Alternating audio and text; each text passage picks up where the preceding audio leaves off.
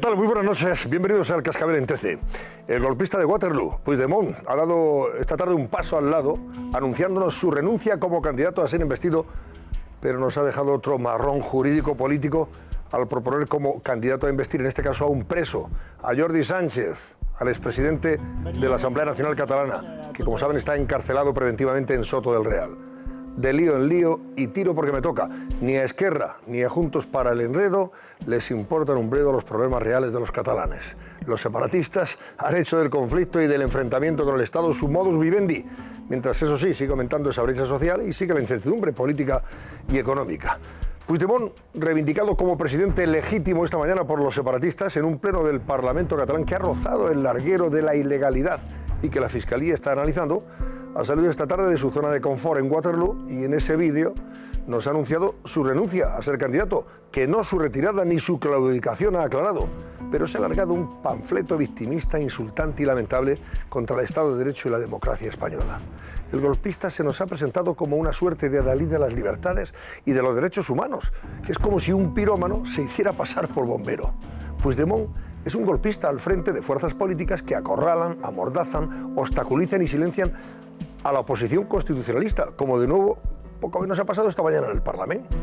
Golpistas que se han ciscado en la Constitución y en el Estatut de forma impune y alevosa. Y además son osados y descarados, hasta el extremo de, de demandar al Estado ante la ONU, como nos ha anunciado esta tarde Puigdemont. Véanlo. Un equip d'advocats internacionals ha presentat ja en nom meu una demanda contra l'estat espanyol davant del Comitè dels Drets Humans de Nacions Unides. Una demanda per violació de la Declaració Universal dels Drets Humans y la Carta de los Drets Civils y Polítics.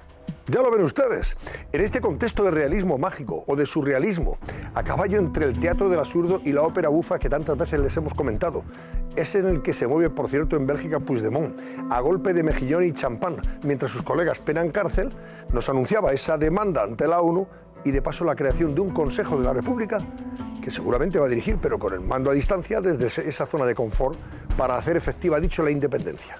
Veanlo de nuevo. En els propers dies convocaré els membres del Parlament de Catalunya a una reunió solemne per poder impulsar aquesta nova etapa i per establir el Consell de la República perquè lideri el camí cap a la independència efectiva. Pues ahí lo tienen ustedes. Renuncia como candidato, pero se mantiene en el sostenella y no en Mendalla. Eso sí, mientras tanto sigue pasando el tiempo y el 155 continúa vigente.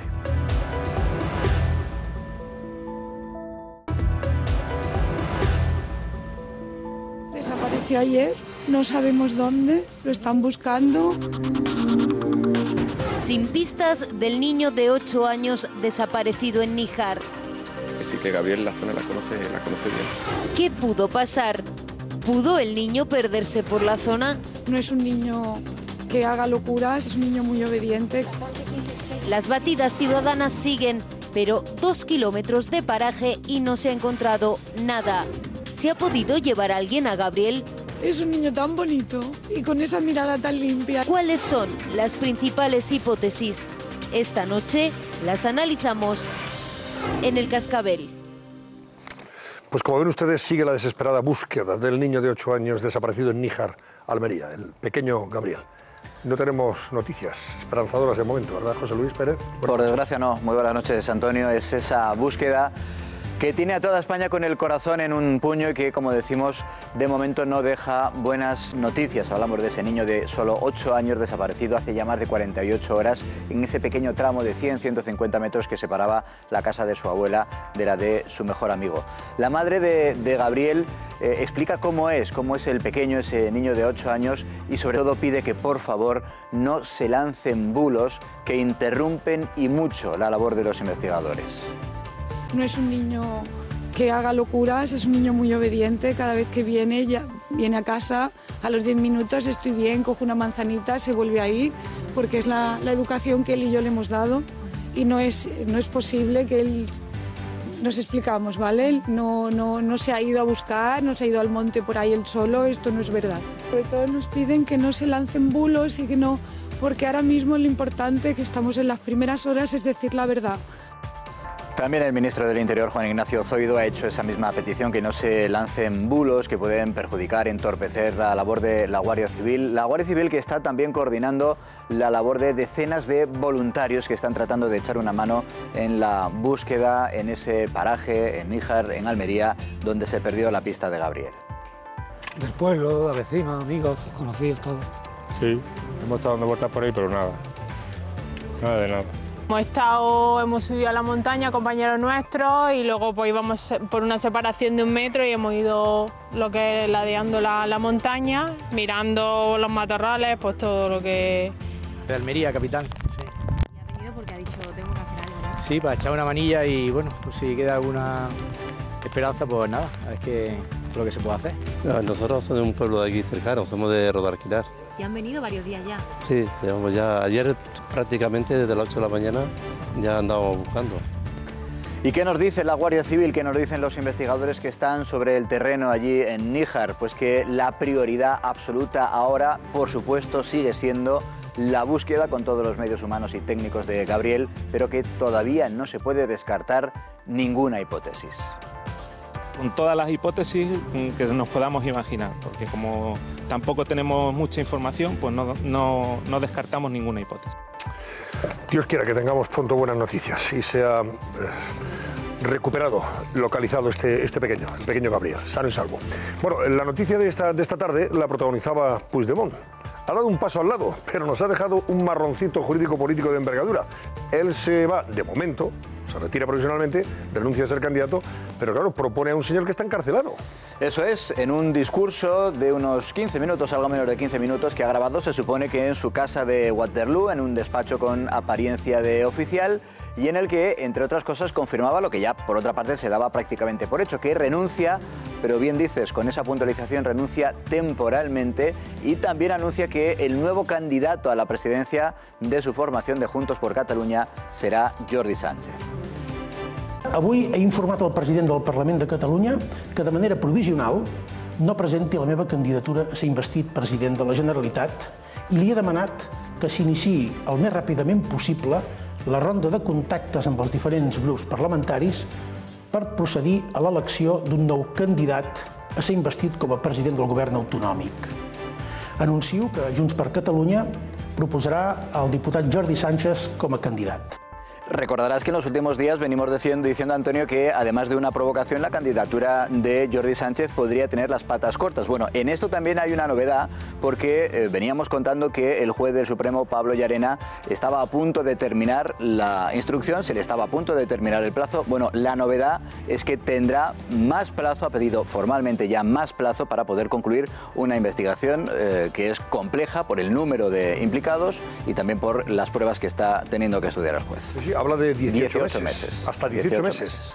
Puede, puede abarcar esa investigación. O sea, estaremos hablando de, que podía llevarla hasta finales del año próximo. Eso es, digo que es importante porque lo más probable es que en el momento exacto en el que el juez Pablo Llarena termine la instrucción, lo más probable es que ya sean formalmente acusados de rebelión, es lo más probable de la lectura de sus eh, autos, y en ese momento quedarían inhabilitados. Claro, claro. Antes incluso de Pero en fin, si se toma todo ese tiempo, los 18 meses, lo que no sabemos si va a mantener o no la prisión provisional eh, preventiva para, para, los que ahora mismo están encarcelados. En fin, todas esas dudas son las que ahora mismo convergen sobre este espectáculo que seguimos viviendo porque así lo han querido los separatistas.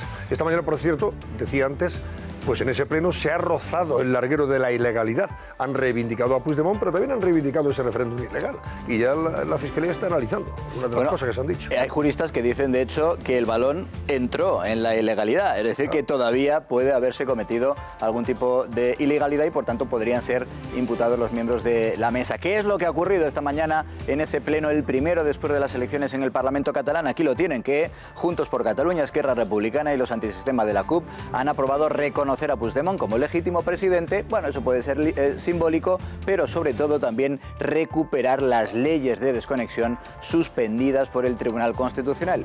Y ahí es donde algunos dicen que efectivamente el balón puede haber entrado en la portería de la ilegalidad. Bueno, tal es el hartazgo de la líder de la oposición, que fue quien ganó las elecciones en esas rimadas, que les dice que por favor, les dice a los independentistas, se dejen ya de tratar de mantener este chiringuito, dice ella, que es solo su modus vivendi. quieren lío, lío y lío, porque se ha convertido el lío del procés en su modus vivendi. ¿Cuánto tiempo van a mantener, señores y señoras diputados de partidos independentistas, esta ficción, este, esta farsa, esta mentira que no se la creen ni ustedes? Dejen de mentir a sus votantes y de faltar al respeto a nuestros votantes. Pero es que es cierto lo que dice Arrimadas. Es que han convertido todo esto en su modus vivendi. Viven de esto, del enfrentamiento con el Estado o contra el Estado y de, esta ensoñación que mantienen sobre la independencia. Bueno, también ha hablado Mariano Rajoy y ha sido contundente, no contra ellos.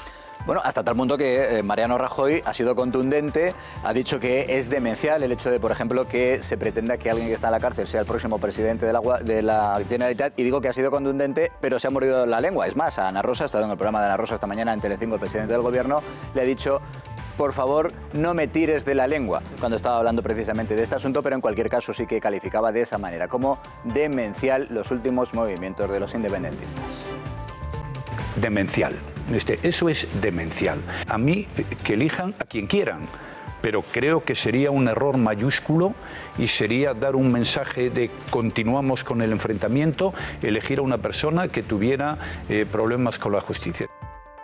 Y para desmontar ese chiringuito del separatismo, con mucho sentido del humor, con mucha ironía, pero también con mucho sentido común, el presidente de Tabarnia en el exilio, don Alberto Badella, pues ha convocado una, en fin, una, una performance muy original, ¿verdad? Una concentración será el domingo, efectivamente. Aquí le tienen el presidente de Tabarnia, esa eh, iniciativa que en clave de humor desmonta los argumentos de los independentistas. Una concentración, claro, eh, él dice, ¿Tabarnia qué es? Tabarnia es pues algo así como un aire de libertad.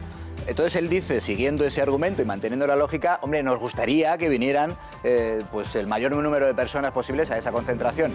Ahora, si no quieren venir, pues hagan lo que les dé la gana. Miren. Us convoquem el diumenge 4 de març a les 11 i mitja al monument del patriota espanyol Rafael de Casanovas. La vostra presència provocarà una mala digestió al nacionalisme. Millor. Però, com que Tabàrnia és símbol de llibertat, si veniu tots estarem molt contents i si no veniu, també. O sigui, feu el que us doni la gana. Qué humor no le ha faltado. Es coherente, además. Al de ella en esa, en esa convocatoria. Claro que sí. Además, ante el monumento del muy patriota español, don Rafael de Casanova. Sí, señor. El mismo que quieren, en fin, secuestrar a los separatistas, ¿verdad? Como símbolo de su independencia. Eso es. No dan puntadas Esos sin son hilo. originales. No dan puntadas sin hilo. Muy bien, muy bien. Bueno, pues ya saben, anímense ustedes a las once y media el próximo día 4, domingo o sábado, que la Domingo. cuenta. El domingo 4 de marzo, próximo domingo a las once y media, si nos están viendo desde Barcelona o aledaños, vayan ustedes a esa concentración, perdón, por favor, de, de Tabania. Bueno, hoy los, los que han salido de nuevo a la calle han sido los pensionistas. Eh, sigue varias- el debate sobre las sí, pensiones, ¿verdad? En varias ciudades españolas, efectivamente, de nuevo protestas para pedir qué? Pues para pedir que se suba un poquito más de ese 0,25 las pensiones este año. Que porque ellos tienen esas pensiones vitalicias y nosotros encima cotizando lo que tenemos que cotizar nos ponen una miseria y eso no hay derecho. Que menos, que menos hablar y más actuar. Pero para pensiones no hay. ¿Por qué le vamos a hacer si no hay? Pues vamos a venir aquí hasta que haya. claro, el hombre dice, no hay dinero para las pensiones, pero sí para otras cosas. Para muchas televisiones públicas y más cosas, hay más cosas. Pero bueno, prisión sin fianza para el presunto autor del doble crimen del pantano de Susqueda. Esa es la última hora en relación con este caso. José Eso es, eh, última hora de apenas eh, hace una hora, hora y media, decíamos ante el juez, efectivamente, y el juez ya ha tomado esa decisión, ha enviado a prisión sin fianza al supuesto asesino de esos dos jóvenes en el pantano de Susqueda. El abogado de esas víctimas decía que evidentemente ellos esperan que el caso se resuelva, pero también que llegue a manos de la justicia bien atado, bien resuelto y no solo con indicios. Ahora mismo nos encontramos con un sumario que está secreto, no se va a acusar a cualquier persona, solo acusaremos si estamos convencidos de que, de que la decisión es la acertada y de que hay pruebas para hacerlo. Y noticias en relación con el presidente norteamericano Donald Trump por partida doble. Algo que se refiere a las armas y también la dimisión de su responsable de comunicación. Otra ha dimisión más, la verdad que en este caso decían que era algo así como su hija política, la responsable de comunicación de, de la Casa Blanca, pero eh, también ese otro apartado de las últimas horas de Donald Trump es que va a avanzar al menos un poquito en el control de la venta de armas. Total, Juan Fierro, Washington, corresponsal, que no hay día en el que Donald Trump deje de ser noticia. ¿Qué tal? Buenas noches. La verdad es que no. Y la verdad es que además los recientes comentarios de Donald Trump sobre el control de armas no han gustado nada entre sus filas, entre los republicanos y muchos menos entre la todopoderosa Asociación Nacional del Rifle. El hecho de que Trump afirmara en una reunión con congresistas y senadores, tanto del Partido Republicano como del Partido Demócrata, que había que eh, confiscar las armas de las personas con problemas de salud mental y luego acudir a los tribunales, ha suscitado un importante rechazo entre sus fieles. Republicanos y la Asociación Nacional del Rifle han utilizado durante años este término, confiscar, para definir la política de control de armas de los demócratas durante la campaña electoral. Era un mensaje claro de los republicanos y hoy es el presidente Trump el que habla de retirar las armas y los republicanos tampoco estaban muy satisfechos con las palabras del presidente afirmando que los republicanos le tenían miedo a la Asociación Nacional del Rifle. Y cuando no se han apagado las críticas a Trump por estos comentarios, se producía la dimisión de Hope Hicks, su cuarta secretaria de comunicación y una de las personas más próximas al presidente. La salida de Hicks se producía tras una larga comparecencia, más de ocho horas ante la Comisión de Inteligencia la Cámara de Representantes, donde se negaba a contestar a las preguntas sobre las posibles relaciones entre la campaña de Trump y Rusia. Gracias, Juan Fierro. Con algunas dificultades hemos recibido esa comunicación, pero en cualquier caso ahí queda la noticia, la renuncia de esta responsable de comunicación de la Casa Blanca, de Donald Trump. Bueno, y hoy ha concluido la comisión permanente de los obispos y se han pronunciado sobre algunos de los temas de, actualidad, ¿verdad? Eso es, ya ha terminado el trabajo de esa permanente de la Conferencia Episcopal Española y, como es tradicional, a su término, el secretario de la conferencia, el ETEN José María Gil Tamayo, ha hablado, entre otras cosas, del papel que deben tomar los laicos también en la vida en sociedad. Vean. Responsabilidad de participar de manera activa eh, en la vida política como representantes en los distintos niveles. Luego el ser cristiano y el ser laico eh, lleva consigo este ejercicio de la secularidad desde las propias convicciones de la fe, porque ellos son los grandes protagonistas en la educación, en la familia, en el ejercicio de sus derechos como padre, como esposo. Y veíamos hace un momento, hablábamos del debate en torno a las pensiones, la revalorización de las pensiones y evidentemente, como bien decías, también le han preguntado por ese asunto al portavoz de la conferencia episcopal, José María Gil Tamayo, que decía que el sistema de pensiones debe ser justo. Tendremos un régimen de pensiones que no es cuestión de oportunismos políticos, de brindes al sol, ¿eh? sino del realismo ¿eh? de con lo que realmente se puede construir un, sistema justo de pensiones, que es la concordancia de todos y no es hipotecar el futuro y en cuanto al tiempo, pues hoy tenemos que comentar, José Luis, que la lluvia, sobre todo el viento, el viento que ha, en fin, ha jugado situaciones bastante comprometidas en algunas partes de España, también aquí en Madrid, por cierto, ha restado protagonismo a la nieve, que ha sido la gran protagonista de los últimos días. Sí, señor. Hombre, si quieres empezamos precisamente por Madrid porque ha habido un auténtico caos de tráfico, ocurre siempre en las grandes ciudades cuando hay lluvia, pero sobre todo en el centro de la capital cuando se ha venido precisamente por el fuerte viento, ese parte de ese andamiaje de la lona que, la lona que protege una de las obras en el edificio España, ya digo, en la Plaza España, en el centro de la capital, se ha venido abajo, afortunadamente no ha pasado nada, pero sí que eh, se ha registrado eh, un enorme caos de tráfico en toda esa zona, además del susto para los vecinos que en ese momento circulaban por ese punto de la capital. También, por ejemplo, eh, problemas y tensión y nervios en Jerez, en un parking de Jerez.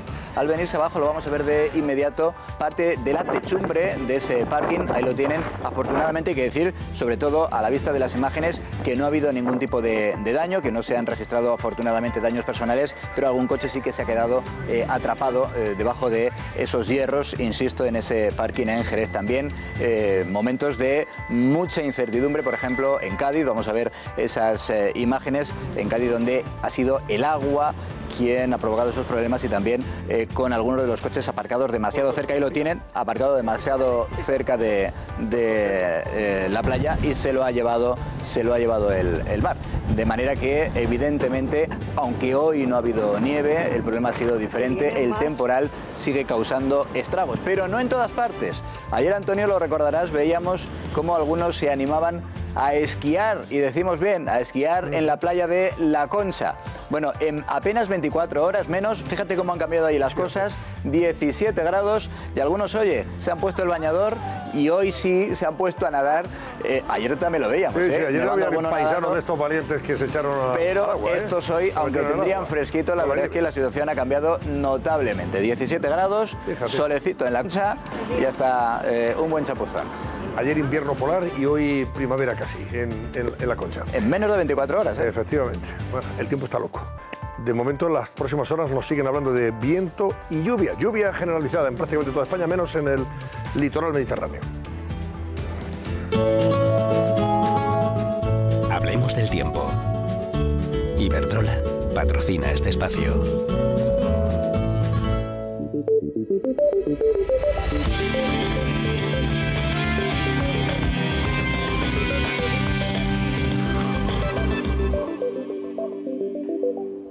Muy buenas noches. La lluvia, pero sobre todo las fuertes rachas de viento han sido las protagonistas en este primer día de primavera meteorológica y la previsión nos indica que así seguirá siendo unos días más. Hoy en Canarias, Emma ha dejado vientos huracanados o rachas de hasta 100 kilómetros por hora en la zona del estrecho. 41 provincias han permanecido en aviso por intensas lluvias y fuerte oleaje.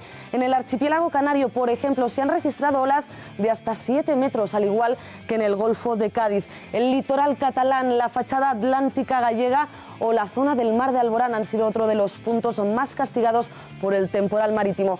En las próximas horas, Emma se desplazará hacia las Islas Británicas, pero no se hagan ilusiones porque llega otra borrasca por el oeste peninsular que nos deja una previsión meteorológica para este viernes poco o nada alentadora. Por la mañana, situación complicada en la zona de Andalucía, en Ceuta y en Melilla por tormentas. Mucha atención al viento de oeste-suroeste que volverá a alcanzar rachas muy fuertes en la fachada de la zona, en la fachada atlántica, también en las zonas altas del oeste y del centro peninsular y en el Cantábrico ori- Oriental y en el nordeste peninsular mañana podremos ver amplios claros en el cielo. Por la tarde, en cambio, las lluvias se extenderán, como ven, prácticamente a todo el país, avanzando de sur a norte y de oeste a este. Las precipitaciones llegarán de forma débil a la zona de la costa mediterránea y también a las Baleares. En cuanto a las temperaturas, mañana descenderán los termómetros en puntos del norte, del centro y del suroeste peninsular. Las máximas variarán hasta 4 y 5 grados con respecto a las de hoy. En la mitad norte, atención esta noche porque las mínimas también descenderán, así que mucho cuidado con las heladas. De cara al fin de semana, el sábado, lluvia intensa en Galicia, también en la zona oeste y sur de Castilla y León, en Extremadura, en Castilla-La Mancha y, por supuesto, también en Andalucía. Las máximas se situarán en general entre los 12 y los 15 grados y en la zona del Mediterráneo podríamos llegar incluso a superar los 20. El domingo terminaremos la semana con mucha agua, sobre todo en el oeste y en el centro y también en el Pirineo. Y ojo al viento del oeste porque volverá a soplar con fuerza. Hoy terminamos con algunas de las imágenes que nos deja el fuerte temporal en España. En Cádiz el fuerte oleaje ha dejado olas de hasta 7 metros de altura. Impresionante como van a ver ahora en sus televisores. En Canarias el temporal ha dejado hasta cuatro gabarras hundidas o a la deriva, como la que están viendo. Y con esta imagen de esta gabarra hundida en el muelle del Gran Tarajal nos despedimos. Que pasen un feliz fin de semana.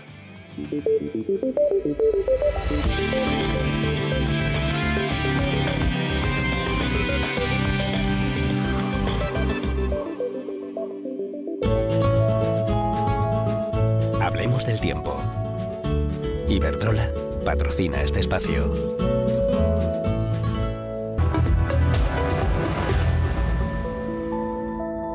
Desapareció ayer, no sabemos dónde, lo están buscando. Sin pistas del niño de 8 años desaparecido en Níjar.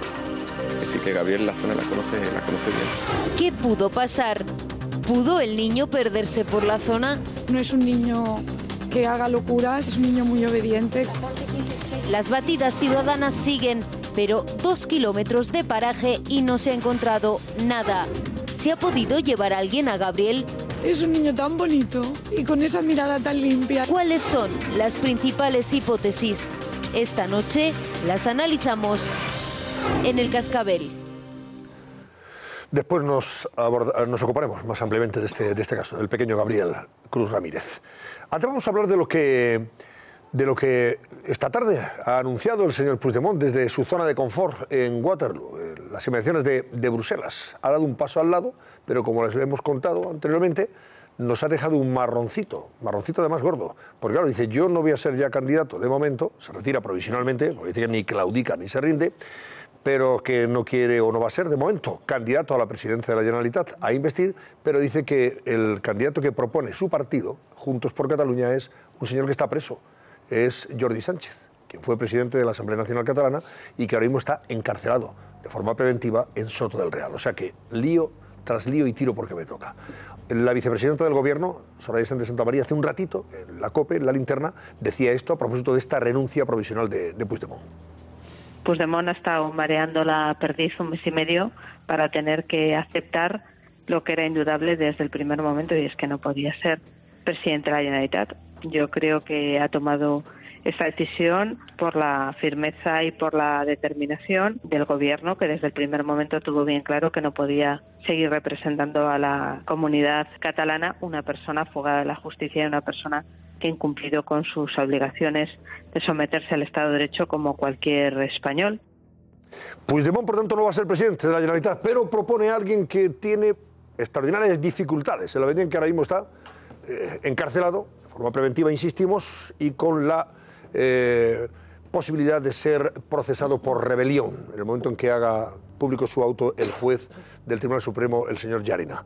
Esto comentaba y decía Puigdemont a la hora de anunciar su renuncia.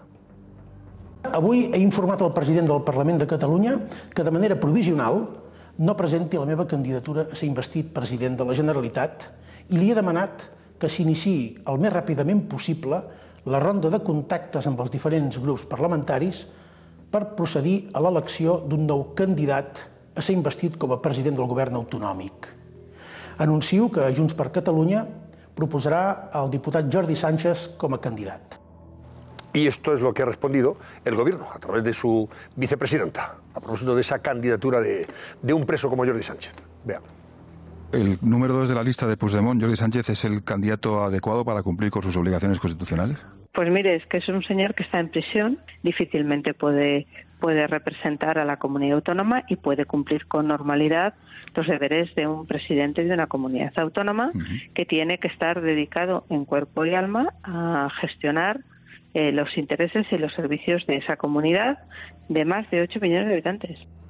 Y Puigdemont, mientras tanto, ¿qué ha hecho? Pues también anunciar una demanda contra el Estado español ante Naciones Unidas. Dice que ha puesto ya a sus abogados en marcha para que planteen esa, demanda en Naciones Unidas y ya ha advertido que él ni claudica ni se rinde. De momento se retira provisionalmente.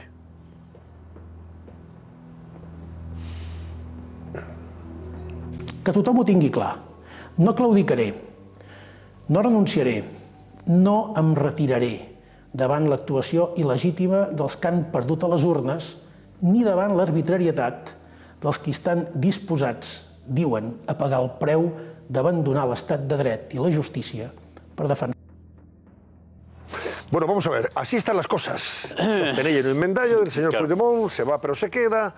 Eh, es verdad que se ha retirado ya como candidato a investir, pero ya lo veis que deja su particular bomba de efecto retardado, ¿eh? políticamente. Sí, pero más allá de eh, sus declaraciones engoladas, de sus banderas, de su lazo amarillo, etcétera, a mí me parece que lo fundamental es que está eh, demostrando, y hoy lo ha demostrado de forma palmaria, que es una persona confundida por muchas razones, sobre todo porque ha confundido dos aspectos fundamentales, que es su estrategia de defensa con su estrategia política. Y las ha mezclado y no le ha salido bien.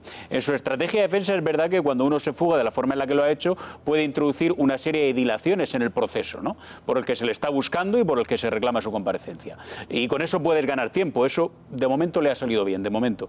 Pero sin embargo, políticamente él ha pensado que podía tener alguna opción eh, de verdad de ser presidente del gobierno de Cataluña cuando no tenía ninguna. Por lo tanto, eh, en lo personal, hoy estamos ante una derrota clara de Puigdemont, en lo político también ante una derrota clara de Puigdemont, pero sin embargo su eh, futuro judicial es todavía más oscuro. Y luego respecto del señor...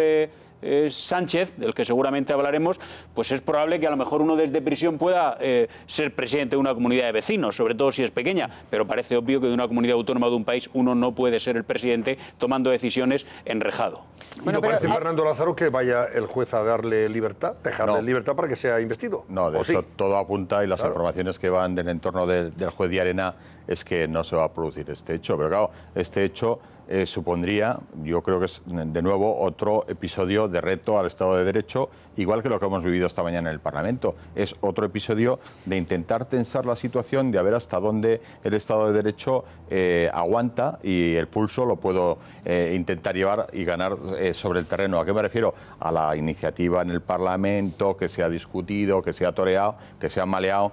Es verdad que la CUP hace 24 horas proponía ahí que hubiera un, un- de nuevo una- un, un reafirmamiento de la Declaración Unilateral de Independencia y, chicos, en cuanto que se ve un papel y hay que firmar, parece que los valientes Claro. ya no son tan valientes y se han arrugado, pero es verdad y ahora hay que mirarlo y lo tiene que mirar yo creo que el Gobierno, la Fiscalía, la Abogacía del Mm. Estado, del Constitucional, hasta qué punto lo de la jornada de esta mañana ha incumplido o no las reglas de- del juego que tenemos hasta ahora. Y luego, en, en- en el caso de Puigdemont, eh, vamos, como dice Alfonso, ha perdido la batalla y esa batalla ya está, pero pensemos en la batalla siguiente. La batalla siguiente es que el candidato que nos proponen es eh, un tipo, con todos mis respetos por lo de tipo, no es despectivo, pero que el 20 de septiembre estaba megáfono en, en mano, ale- alentando a las, a las masas eh, encima de un coche eh, de la Guardia Civil, que luego fue destrozado por completo, cuando estaban asaltando la Consejería de, de Empleo. Ese es el candidato, ese es el hombre de paz que dice Puigdemont, que nos quieren poner de presidente en Cataluña. No puede ser. Una Bueno, tomadura al final es otro capítulo más del sainete, pero lo que, lo que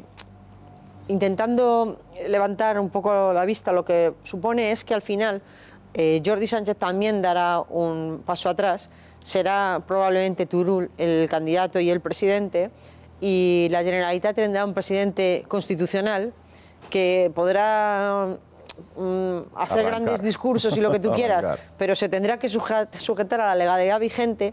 Habrán tenido eh, la, la Generalitat intervenida con el 155 muchos más días de los estrictamente necesarios, porque si hay una cosa que el PP tenía claro es que quería tener intervenida a la Generalitat lo menos posible. Si ellos eh, no hubieran montado este sainete por el interés de Puigdemont, única y exclusiva, todo este sainete es a gloria eh, y, y beneficio de Puigdemont. No ayuda a ninguno de sus compañeros, los que están en la cárcel, no ayuda a los que se han quedado allí, que hoy alguno puede tener problemas, porque si, si Ciudadanos cumple con lo que ha dicho y lleva en amparo al Constitucional lo que ha pasado esta Sí. mañana, esta mañana probablemente se han conculcado algunas leyes y, al- y alguien puede tener responsabilidades penales, penales, insisto. Y entonces no ha beneficiado a nadie nada más que a Puigdemont, que está en su estrategia de defensa, en su rollo de a ver si consigue una paguita, porque esa casa que tiene en, en Waterloo hay que pagarla y sin paguita oficial no... Y esa es toda la pelea, entretener y marear la perdiz no ayuda a los catalanes, porque aunque es verdad que el gobierno de, España tiene intervenida la Generalitat y se pagan las facturas y abren los hospitales, pero uno tiene una autonomía, un gobierno autonómico, para que gobierne su autonomía y haga cosas y, y aproveche los tiempos y si ahora hay bonanza económica, pues saque a, a Cataluña del parón en el que está metido y se meta en el barco de, de la bonanza, que aproveche y haga reformas de las que tenga que hacer lo que hace un gobierno autonómico, que para eso está, ¿no? Y mientras esté el 155 no se hace nada más que lo estrictamente necesario para que la administración siga funcionando. Pero eso es en detrimento de los catalanes, que están perdiendo meses de bonanza económica, por ejemplo, ¿no?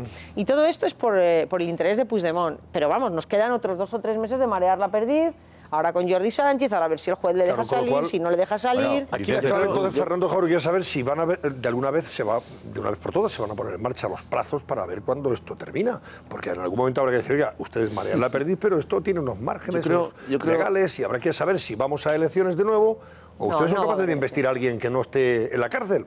Yo creo, Porque Antonio- seguramente tendrán a alguien ¿no? que no esté encarcelado. Yo creo, no me deja, sí, yo- que yo creo que esto va a acabar mal. Creo que va a acabar mal, pase lo que pase, va a acabar mal.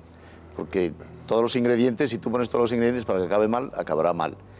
Eh, yo creo que es imposible que, que el señor Sánchez sea presidente de la Generalitat. Yo creo que es imposible. De acuerdo. Yo creo que la, la tapada es el Sartadi y no Turul. Pero bueno, Bueno, puede yo, ser. creo, yo creo que eso está ya Sí, sí, descontado. está Yo creo que es, yo creo que es claro. Pero a mí lo que me preocupa es que va a acabar mal para los catalanes, pero va a acabar mal para todos nosotros. Es que mm, nosotros podemos sentirnos muy satisfechos, Alfonso, diciendo que ha perdido, eh, Puigdemont ha perdido y todo eso. Nos podemos sentir muy satisfechos diciendo que, mm, oye, ahí está el 155 y seguimos con el 155. Pero la verdad es que nos están haciendo un agujero de todos los diablos. Nos están haciendo un, un agujero terrible. Eh, el, señor Puigdemont, el señor Puigdemont, igual que la señora Gabriel, lo único que quieren es horadar el prestigio del Estado. Y lo están horadando a modo. Y esa es la, esa es la verdad. Bueno. Ellos, además, es que ahora mismo están liderando el proceso. Claro, es mucho más fácil liderar el proceso cuando tiras cohetes que No, cuando, tienes que, cuando tienes que tirar del carro. Pero están liderando el proceso. Pero, Fernando... Pero déjame, déjame terminar. Están liderando el proceso porque yo, sinceramente, creo que están liderando la comunicación. Lo que ha hecho el señor Puigdemont es eh, acaparar completamente todos los titulares de mañana. No basta que la señora de Santa María haya hecho unas declaraciones a la COPE, que son unas declaraciones las, las lógicas, las sensatas, ni basta con lo que ha dicho esta mañana el señor presidente del gobierno tampoco. Yo creo que hace falta una ofensiva mucho mayor. Es que tiene que haber vida después del 155 y tiene que ser el gobierno con los partidos constitucionalistas los que tienen que darlo. Todavía no entiendo cómo todavía... lo que ocurre- Perdona, perdona, un segundo, y termino ya.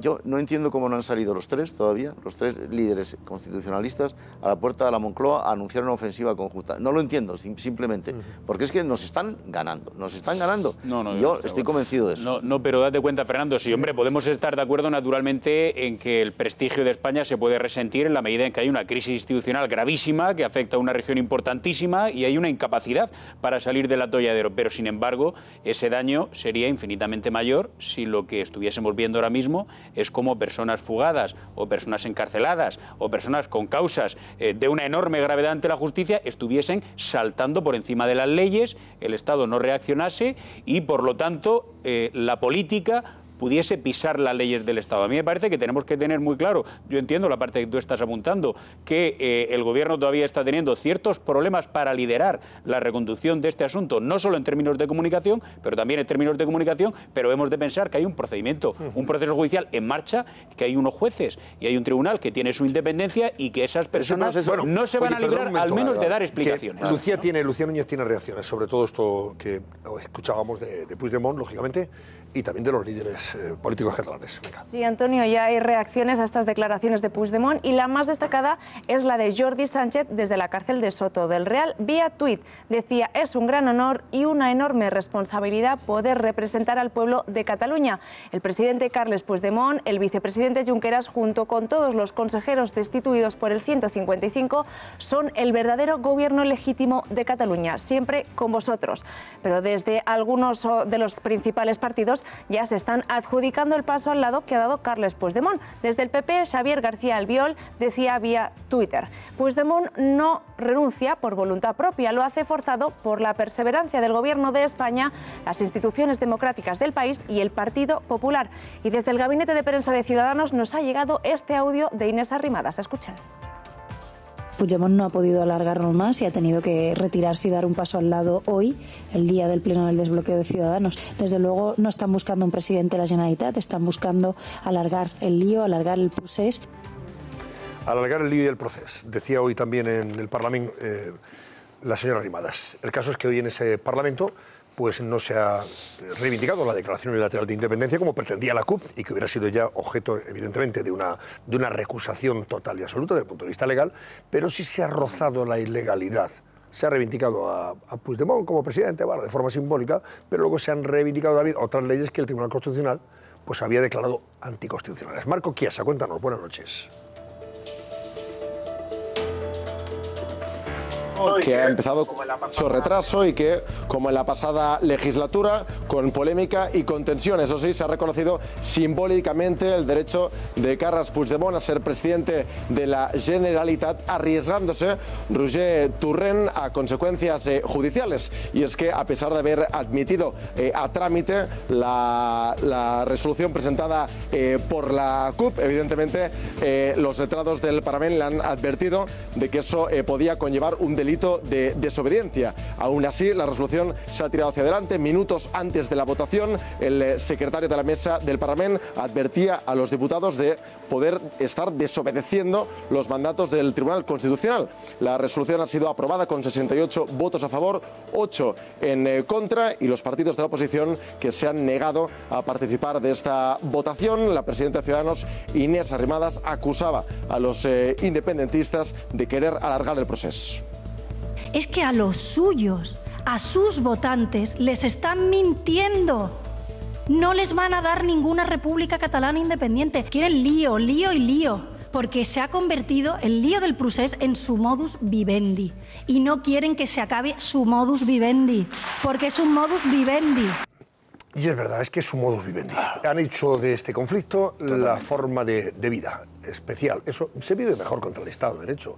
Mejor se vive contra el Estado de Derecho, ¿verdad? Es más fácil, Que, es más claro, fácil. Que, de los problemas de los Pero, pero, pero, en algún momento habrá Antonio, por eso mismo digo yo que están haciendo mucho más ruido que nosotros. es más fácil. ¿de Algún día, pero alguien- algún día llegará el momento en que Bueno, se les pero pase bueno, ya, pero- pero- políticamente, llevan su tiempo. de de- de su lo que la ley y la justicia trabaja. Algún día tendrán Algún que día sí, pero, factura oye, pero, aquellos pero- que todavía hoy pero mientras siguen tanto, equivocados. ¿eh? pero mientras Y tanto siguen hacen ruido, Antonio. Estoy de acuerdo con, con- con Fernando en que al final hacen ruido, si me permites, y sobre todo lo hacen ruido fuera de España. Ahí es donde están consiguiendo ellos mandar más mensajes. En Bélgica, en Suiza, y ahí es donde, donde te lastra más. Ahora, yo creo que, que lo que es la campaña es una campaña corto, a corto plazo y que el Estado de Derecho la respuesta, que es mucho más lenta, mucho más de dinosaurio, el paso Llevamos- de elefante. llevamos dos años, ¿eh?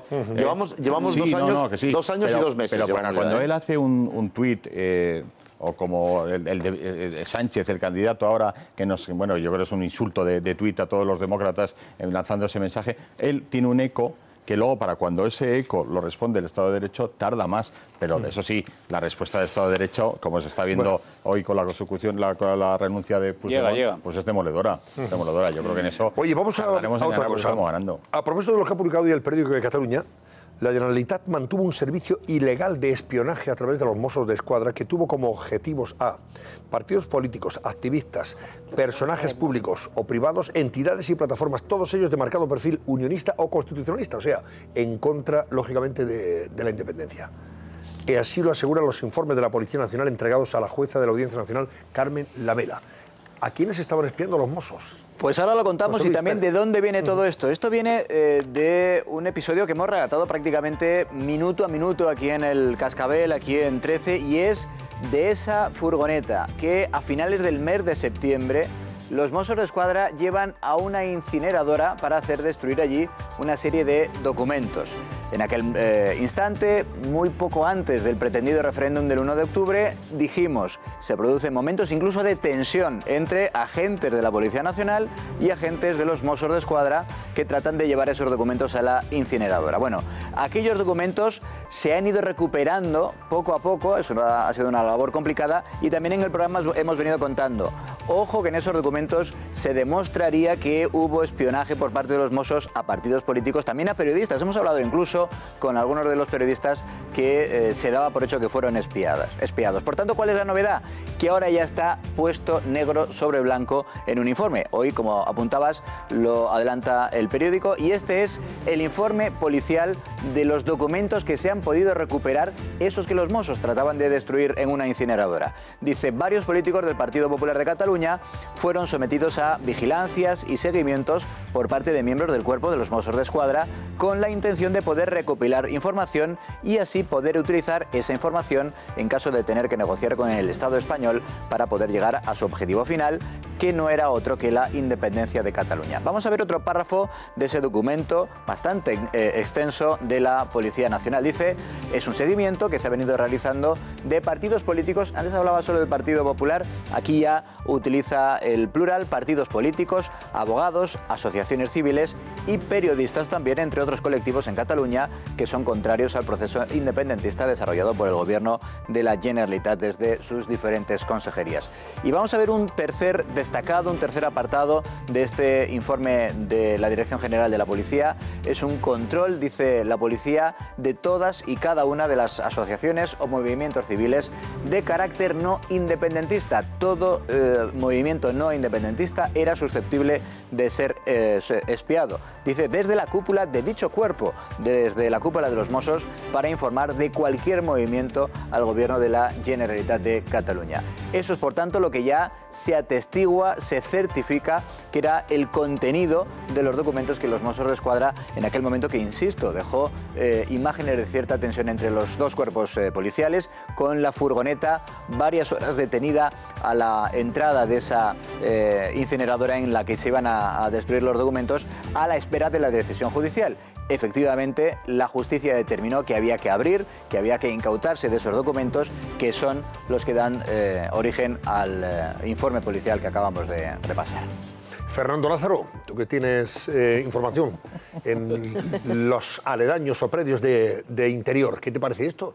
Esto de Pues, los hombre, espiando a personas es que no son de a más, a más. probada eh, voluntad eh, separatista. Es a más a más porque a más. afortunadamente los, los medios ya fuimos contando un poco el desglose, la reconstrucción que estaban haciendo de la, de la documentación y yo, en fin, está mal ci- autocitarse, eh, pero bueno, en cualquier caso, en el periódico publicamos ya en el 15 de, el 15 de diciembre que había un, un primer informe preliminar sobre este, sobre este movimiento de espías en el que denunciábamos que entre lo que habían hecho utilizar los mozos utilizaban a los propios escoltas de, altos cargos para hacer el, el propio espionaje. Y entre los espia- espiados, aparte de los que cita hoy el, el periódico de Cataluña, estaba Alicia Sánchez Camacho, estaba Jorge Fernández Díaz, el ministro de- del Interior, estaba Fuster Fabra ya, el, el abogado que señor Fuster Fabra, estamos esperando. a ver Bueno, si podemos el abogado. Fuster Fabra, que es un abogado que además se ha, se ha caracterizado por defensa de fuerzas y cuerpos de seguridad de Estado, entre otros de de los Mossos de Escuadra, con un, Mossos de con un Escuadra, perfil eh, muy bueno, es decir, muy bueno profesionalmente hablando, con grandes resultados, Sí, sí. porque los Mossos lo reclamaban a él en lugar de, de tirar de, lo- de la abogacía que podría facultarle la, la Generalitat. A ver, lo que se denuncia en- y se demuestra es que había un intento de destrucción de un material probatorio de que efectivamente donde sí había una policía patriótica, entre comillas, en Cataluña.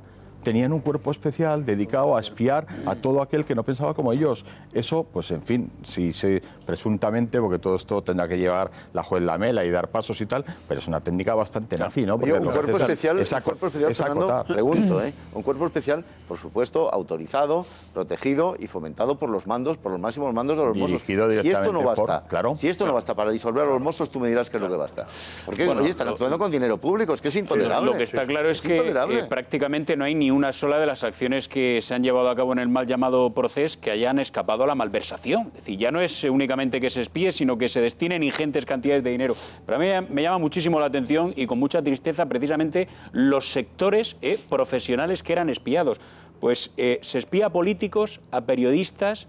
Eh, y se espía a abogados, eh, que no es por hacer ningún análisis, so- corpo- perdona. ningún análisis corporativista, pero Y a sociedad civil catalana, Sí, que es un pero, movimiento pero- social pero hay de realmente pocos, relevante pocos elementos más importantes para una sociedad que lo que es la defensa del derecho a la información que ejercemos los periodistas, del derecho de defensa que ejercen los abogados y del derecho político a representarnos que llevan a cabo precisamente nuestros dirigentes. Pues eran exactamente y de un perfil muy concreto aquellos que estaban siendo atacados en su propia intimidad. Es, hay pocas cosas verdaderamente ma- más graves que podrían haber hecho los Mossos y que parece ser, porque ese informe de la policía desde luego no está elaborado a humo de paja, está bien No, fundamentado fíjate, eh, y que meses. parece ser que efectivamente han hecho. Y además tú piensas una cosa, si hubieran, si- yo, yo me pongo en en el Mm. papel de los ciudadanos de, de Cataluña, ¿no? Si hubieran conseguido la independencia, ¿qué, qué- qué país estaban construyendo? Un país en el que la policía es una policía política del régimen, que, que todo el que no sea afecto al régimen puede ser es susceptible de sufrir del cualquier tipo único. Claro, cualquier, y cualquier tipo de presión de coacción, porque si te investigan es para algo. pues- no te investigan solo para saber, sino para poder luego coaccionarte con lo que saben de ti. Es que era eh, ni terrorífico. palabra en la sesión del Parlamento. De este tema, que es un tema gravísimo, y Ah, que claro, supongo, y que supongo, ocupando de aquello y que que- supongo, Antonio, que no ha salido de Se está casualidad hoy. de todo aquello que realmente está al margen de las prioridades. Déjame decir una cosa, yo creo ¿Eh? que esto no ha salido de casualidad. Y temas hoy, que preocupan ¿eh? de verdad a los Yo creo que alguien, yo creo que alguien ha procurado que saliese hoy, lo cual no le quita ni, ni un ápice de Claro, gravedad. claro. Pero que, que no se haya tratado ni una sola palabra de esto, nada menos que en el Parlamento, el día que se reanuda las sesiones del Parlamento, me parece gravísimo. Oye, si me Bueno, señores, un brevemente, detalle por solo, favor, Fernando, que vamos a pasar a otro que tema, venga. Esto es- se produce con una policía a cuyo frente estaba el mayor trapero, Mayor Trapero estuvo declarando hace cuatro días en la Audiencia Nacional y de momento está sin, sin medidas cautelares por parte de la, de la juez. A mí la verdad es que viendo el informe de la policía y la decisión de, de la juez que está con ese informe encima de la mesa, Sí, la juez estoy además, la que bastante tiene ese informe, sorprendido. además. sí, sí. Bueno, a lo mejor Sí, sí. hay algo por debajo. Bueno, señores, vamos a ver, hablando de, de seguridad, la ley de seguridad ciudadana, como saben, esta ley aprobada por el Parlamento cuando tenía mayoría absoluta el Partido Popular ahora mismo está cuestionada, cuestionada por la oposición hasta el extremo de que unos quieren derogarla y otros quieren modificarla totalmente, o en gran medida. Esta ley se va a debatir nuevamente con todas las modificaciones que pretenden los grupos de la oposición, con muchas enmiendas, pero claro, que puede quedar hasta desvirtuada. Podemos, PSOE, PNV están negociando la derogación total. Vamos a ver en qué queda. Insisto, a ver en qué queda la cosa. José Luis Pérez, ¿qué quieren concretamente hacer de esta ley los grupos de la oposición con sus enmiendas? De ¿Quieren descafeinarla hasta el extremo de que no sirva para nada? Sí, de momento lo que quieren efectivamente es derogar en la práctica la mayor parte de esa ley de seguridad ciudadana a la que la izquierda eh, denominó la ley Mordaza. Y efectivamente, lo apunta también el periódico Partido Socialista, Podemos y PNV. De hecho, han comenzado ya esa tramitación, ese diálogo para tratar de tumbar la ley Mordaza. La verdad es que sumar suman, porque el Partido Popular eh, ha perdido el comodín de Ciudadanos porque están en proceso casi de, de divorcio y por tanto PSOE, Podemos y PNV podrían sumar los votos suficientes como para tumbar esa y algunas de las otras leyes fundamentales para el Partido Popular que se aprobaron en la anterior legislatura en la que tenían eh, mayoría absoluta. Con todo y con eso, lo cierto es que desde el punto de vista ideológico, el PNV y Podemos, al menos aparentemente, son como el agua y el aceite. No casan demasiado bien, pero pueden unirse. Han comenzado, de hecho, el diálogo para eh, tratar de echar abajo esa, esa ley aprobada en la época, insisto, de mayoría absoluta del Partido Popular. ¿Y cuál sería la propuesta en este capítulo del partido de Pablo Iglesias, al que tienen en sus pantallas, de Podemos? Pues vamos a ver cuál es la ley de seguridad, bueno, la ley en este capítulo más que de seguridad de la que habla Podemos. Dicen, por ejemplo, eliminar la presunción de veracidad en la declaración de un agente de los cuerpos de seguridad, de la que ahora gozan.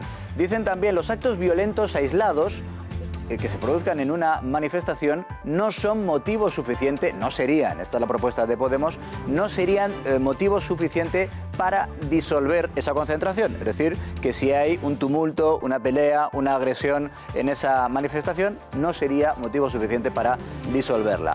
Obligación de anunciar por megafonía las cargas policiales. Lo cierto es que esto se hace ya, se hace con eh, habitual frecuencia prácticamente en todas las concentraciones de este, de este tipo.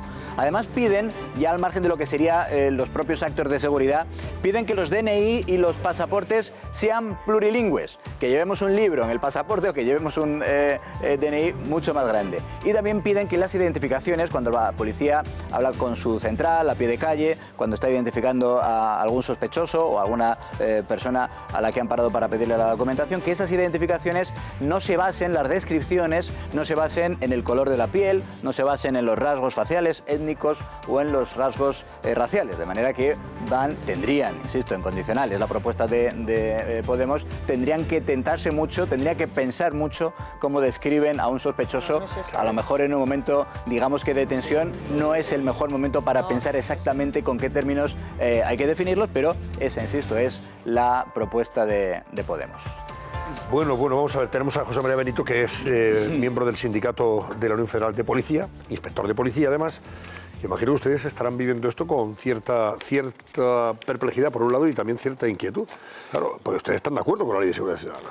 Sí, qué duda cabe que nos está causando bastante perplejidad. Primero por el título de la ley, como la denominan, ley mordaza. Esto nada tiene que ver con una ley mordaza ni nada que se le parezca. En segundo lugar, porque quienes están proponiendo cambiar esa ley, a mí me da la sensación de que no han leído la ley. Eh, o, o no la, o no la comparan con otras leyes administrativas similares en las que la policía ejerce una labor no penal, sino una labor administrativa, que es lo que regula esta ley fundamentalmente. Por ejemplo, dicen lo de la presunción de veracidad. A nadie se le ocurre poner en cuestión cuando un guardia civil nos pilla con un radar en la carretera porque vamos a 140 o nos hace una prueba de alcoholemia y damos positivo, que nos multe. Esa presunción de veracidad que se le da al guardia civil que nos denuncia por un exceso de velocidad es la misma presunción de veracidad que se da a la policía cuando actúa administrativamente y coge a un chaval con una navaja, con una pistola en la calle o consumiendo drogas en, plena- en la vía pública. Es decir, la misma. Es decir, yo no sé por qué en, un en una ley o en, en unos casos estamos... eh, bueno, pues eh, diciendo que está muy bien y que hay que perseguir precisamente a los infractores porque causan heridos, porque causan daños, porque causan incluso muertos, y en esta ley que produce los mismos efectos que puede producir eh, pues, eh, los accidentes de tráfico o la, porque la gente que va en unas condiciones que no debe ir, pues se critica de esta manera. No, no, la verdad que no lo entendemos. Es verdad que la ley se hay que modificar en algunos aspectos, es decir, aspectos en los que nosotros no estamos de acuerdo. Bueno, pues ese registro que no está regulado de infractores, pues no tiene ninguna cobertura jurídica hoy en día, ni tiene ningún sentido. Un registro de infractores que se pretendía hacer, que no se ha hecho, por cierto, pero no tiene ningún sentido. Pues quizás eso sí que habría que modificarlo. Por ejemplo, el registro o, o las, eh, las eh, identificaciones de los consumidores eh, de prostitución en la vía pública. Eh, tampoco tiene ningún sentido. Si no está penada, bueno, pues busquemos otra fórmula. Pero, eh, Pero sí, pero esas cosas no le son cosas, a son cosas nimias. Podemos no quiere retirar Claro. nada de eso. Pero por no- otra parte, ni es- les molesta. ¿esto qué es lo que regula? Es decir, no modifica, es- esta ley de seguridad ciudadana no modifica ninguna ley eh, es la ley de derecho de, reunión y manifestación, una ley orgánica porque regula derechos fundamentales. Al contrario, lo que hace es precisamente asegurar que esa ley se cumpla.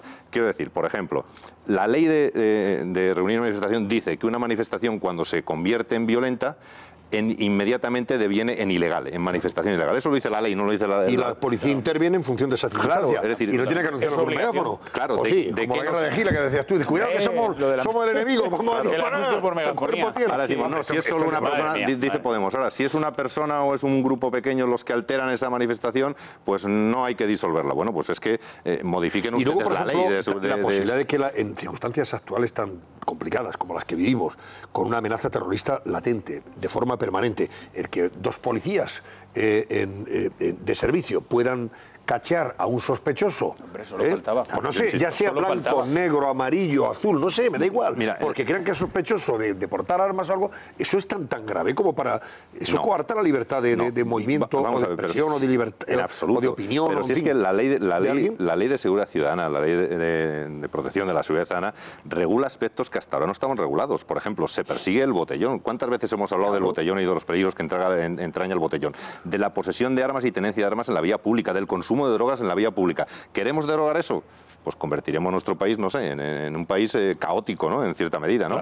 Eh, Hasta ahora no había, no había que- ninguna forma, porque penalmente es verdad que no había ninguna forma de atajar el consumo de drogas en la vía pública, no es delito, ni había posibilidad de atajar el botellón, no es delito, pero administrativamente sí que se pueden y se deben poner sanciones cuando claro, esas claro. conductas se dan en la vía pública. Es que a mí- a mí está molestando a gente. Claro. Pero me parece que es la primera vez en, en una normativa de seguridad ciudadana en la que se delimita bastante lo que es un, un cacheo, porque eso es una, es una situación muy agresiva para un ciudadano. Oye, te paran porque es sospechoso y someterte a un cacheo es muy agresivo, pero hasta ahora no estaba eso modificado. Y luego la figura de la retención que es algo que siempre eh, hemos cuestionado porque tú siempre estás o en libertad o detenido. Y sin embargo siempre había ahí un colchón que se utilizaba y en este marco legal que ahora se quiere tumbar, y que si no corrígeme, creo que se acota el tiempo que tú puedes estar en una figura de retención y si no tiene que haber una justificación que tiene que llevar al, al juzgado. Yo creo que, que eliminar esas dos figuras sería bastante atraso. Y luego ya no te cuento ya en, en la tercera derivada, y ya que tú eres policía, esa herramienta que, que ponía encima de la mesa la- esta normativa y todavía está vigente para blindar un poco la seguridad del propio agente cuando trabaja, en, la- en lo que es de Mm. coger la imagen del policía cuando está trabajando y se pueda divulgar en redes con un objetivo claro de ir Pero que fíjate que hasta ¿eh? eso se ha Claro. malinterpretado, porque eh, esta gente que quiere derogar la ley, estos eh, pa- partidos políticos han criticado, es que ya no se puede grabar a un policía. No, no, no, dice eso la ley, por eso digo que algunos que no se han leído la ley. La ley lo que dice es que los periodistas, por supuesto, pueden grabar las pueden grabar porque manifestaciones. está- es porque tú estás Eh, cubriendo es- una es su información. trabajo, Está está cubriendo y está están, grabando el momento en el que hay una- solo una Claro, carga ¿qué policial. Es lo que se está diciendo? Lo que no puede un manifestante es grabar imágenes de la policía para luego colgarlas en las redes sociales, perseguirles, presentarse a su domicilio y acosar a la familia y acosarle al mismo. Es decir, eso es lo que no es permisible. Si a- también en eso están en desacuerdo, pues No, yo no, que- están en desacuerdo No, no, también. no, no, no, Lo que que, que que a mí me parece, eso. seguramente si se analiza punto por punto la ley de seguridad ciudadana, pues a lo mejor hay aspectos que son cuestionables. Pero claro, esto es una enmienda a la totalidad. Entonces, descontando No, que lo me que quieren es derogarla totalmente. Quieren derogarla. No es arreglarla. No, no, no, no. Descontando eh, que no sé a quién se le le habrá ocurrido la idea de- del anuncio por megafonía de las cargas policiales, que es verdaderamente delirante. Pero a mí hay dos cuestiones que me, llaman- me llaman mucho la atención. Claro, si tú ves punto por punto eh, todo lo que hemos repasado eh, y todo lo que se le exige a la policía que cambie en su comportamiento, pues da la sensación de que tenemos una policía que carga indiscriminadamente, eh, que verdaderamente ejerce la violencia sin ningún tipo de control, que además puede tener en sus conductas en las manifestaciones algún tic incluso xenófobo. Eso es lo que se desprende de lo que hemos visto ahí. Luego creo que hay una cosa que se olvida que tú has eh, resaltado muy bien. Una cosa es el derecho a la manifestación y otra cosa el derecho a la manifestación violenta. El segundo no existe, la manifestación violenta. Eh, y luego otro aspecto que también es interesante eh, destacar es que, y lo vimos el otro día en el tema de, de Bilbao, hay gente que cree que cuando un policía se pone un casco, lleva su escudo, su porra y sus botas, que, que para él es lo más fácil del mundo estar soltando palos y es una cosa comodísima.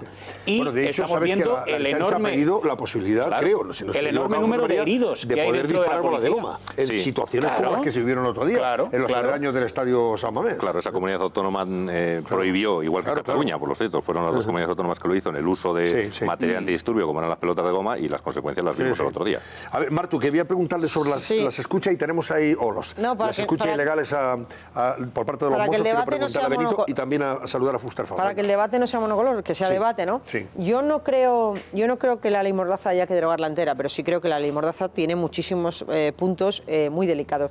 El primero, el año pasado, 2017, se recaudaron 13 millones y medio de euros, 13 millones y medio de euros en multas amparadas por esta ley. Es una barbaridad. Multas del siguiente tenor. Coche de la policía municipal de un pueblo aparcado en plaza de minusválidos. Esto, o aparcado en lo alto de la acera, o aparcado bloqueando un garaje, lo hacen mucho. Lo- los que vienen a, los que tendrían que cumplir las normas mejor que nadie, lo hacen mucho. Lo hemos visto todo. Y parado en doble fila para bajarte a sacar dinero del cajero, que lo hacen. Ciudadano que pasa por allí y dice, hombre, y pone en Twitter, el coche de la policía municipal en la plaza de los minusválidos, 800 euros de multa. Eso es la ley Mordaza. 13 ¿Eso es millones. así, José sí, sí, María? No, 13 vamos a ver. millones y medio. Es un caso real que Bueno, estoy yo digo, contando. digo, si eso es así. 13 millones y medio de diga que un euros. coche de la policía está en, un- en una sí, zona de, sí, sí. de inválidos puede, puede ser sí, multado. Sí, pero no nos, mira, Martu, no nos quedemos en la anécdota. Eh, Bueno, eh, 13 el- millones y medio de euros no es una anécdota, es mucho y- dinero, y, ¿eh? y cuántos han recaudado por infracciones de tráfico? No lo sé. Es que eh, eh, las, las, eh, infracciones de leyes tráfico son las para justificamos. No, no, no son para recaudar ninguna de las dos, ni la ley de tráfico ni esta ley es para Pero la recaudar. diferencia es que si a mí me ponen una multa yendo deprisa puedo matar a alguien, bien puesta está, pero que yo le ponga una foto de que los guardias están en doble fila porque Bueno. están tomando café en el bar y me pongan una multa solo perjudica al guardia, no a mí. Y segunda, cuestión que, y segunda cuestión que te voy a comentar, y que es muy importante. Todas las actuaciones amparadas en la Ley de Seguridad Ciudadana están sometidas al eh, respaldo judicial. Es decir, cualquier ciudadano que no esté de acuerdo, no solo ya con una sanción, Ya, sino... pero hay No, que bueno, pagarse un abogado. No, no, hay que ir al. Hombre, No, no, o no, por no. tener conocimientos legales para irte a jugar a- Derecho a- administrativo, igual que recurres una multa de- Ya, de, tráfico, claro, claro. recurrir En una multa de la caso, me parece muy oportuno que, que saques eh, esos temas, porque es verdad, si eso se puede mejorar, es pues Claro, claro, es que hay cosas mejorables. Es que esa ley, la es impuso, mejorable, por esa ley supuesto. la impuso el PP con su mayoría claro. absoluta y Bueno, nunca pues se una puede ley de este- enmendar. Eso todo eso se puede enmendar. eso no Martu, descafeína pero- yo le ley, Mejor- es Quiere dejar la ley. es mejor esta ley o era mejor, eh, no sé, por, comparar. Bueno, ¿Qué era mejor, la ley Corcuera o la ley de seguridad lo ciudadana que, o esta? lo que hay que hacer es hacer este tipo de leyes consensuándolas y, procurando que no se te vaya la mano para que luego te la echen a tierra cuando pierdes. 11 y cuarto, que tengo que ir a la publicidad. Pero antes, José María, no te vayas porque a la vuelta de publicidad te voy a preguntar sobre esto de las escuchas y conectamos con José María Fuster Favora, abogado que ha sido espiado por los Mossos de Escuadra. Te preguntaré cómo es posible esto, que los Mossos de Escuadra tuvieran una unidad especial para espiar a todo aquel que no es separatista o sospechoso de, no ser independentista y hablaremos con un espiado, en este caso el abogado José María Fuster Favora. A vuelta de publicidad, hasta ahora mismo.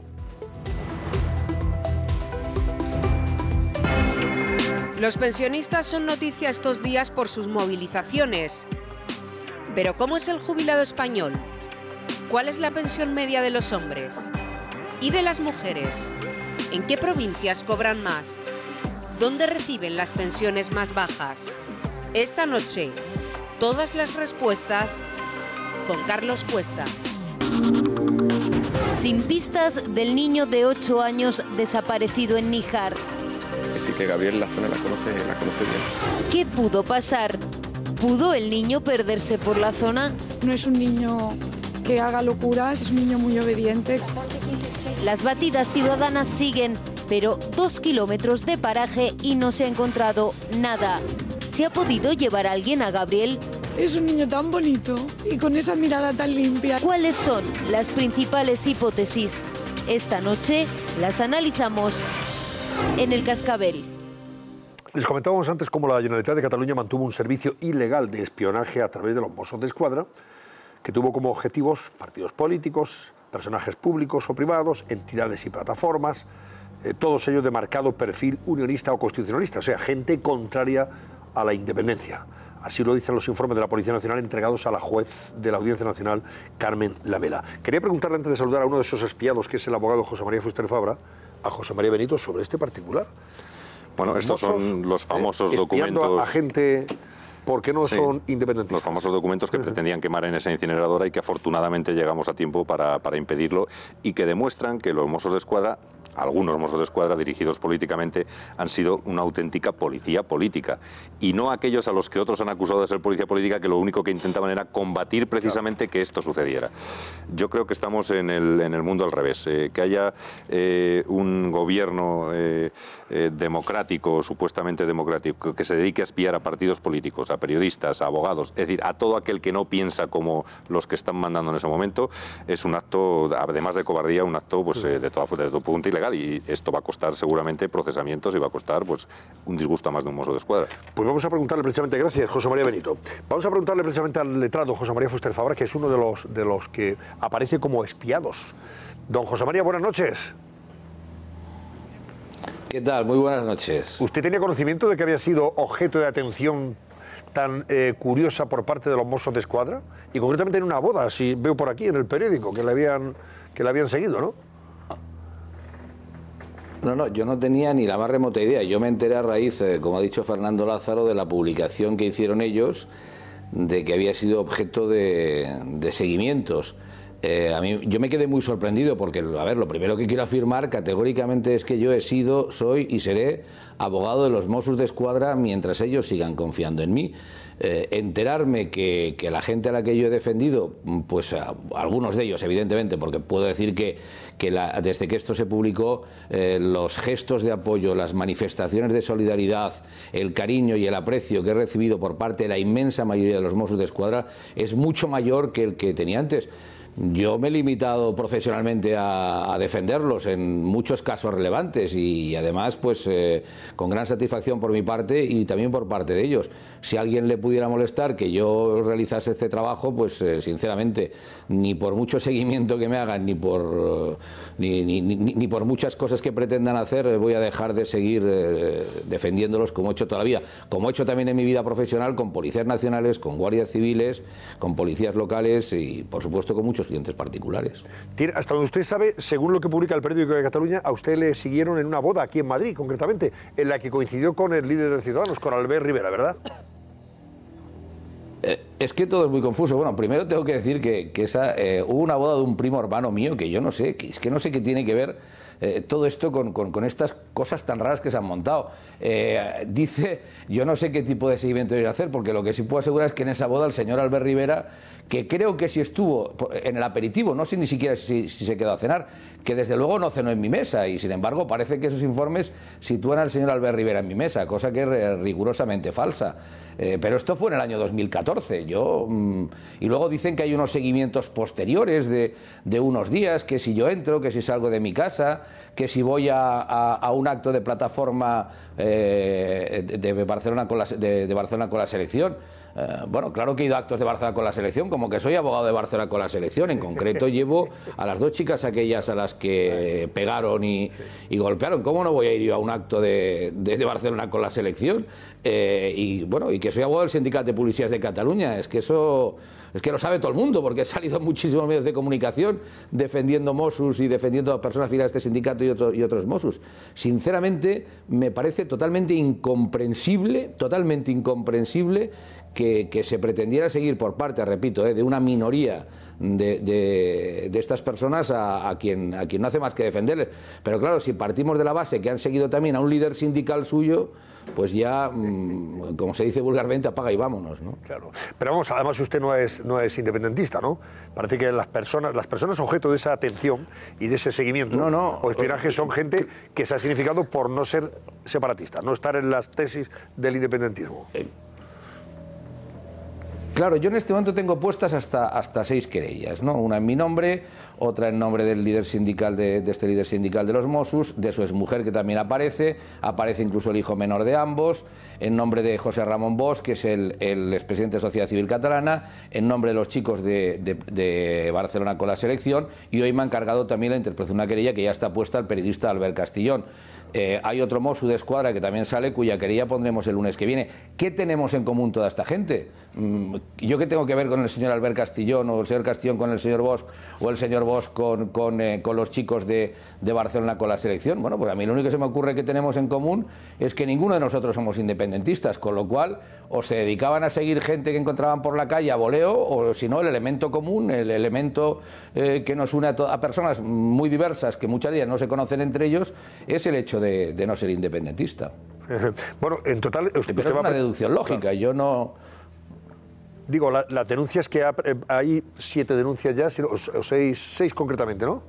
O querellas, perdón. Seis y una que pondremos el lunes que viene. Sí, sí, seis querellas. Que la sí. usted también en su nombre. Fue la mía el 15 de Claro, claro. diciembre. Sí, sí, en mi propio nombre. Claro, y luego en nombre de, repito, de José Ramón Bosch, eh, en nombre del, del líder sindical David José, de la exmujer, de los chicos de Barcelona con la selección, que son un grupo de gente joven, de gente universitaria eh, sanísimos, y, y- y del periodista Albert Castillón. Y el lunes que viene pondré el nombre de otro Mosu que también se le ha referido allí.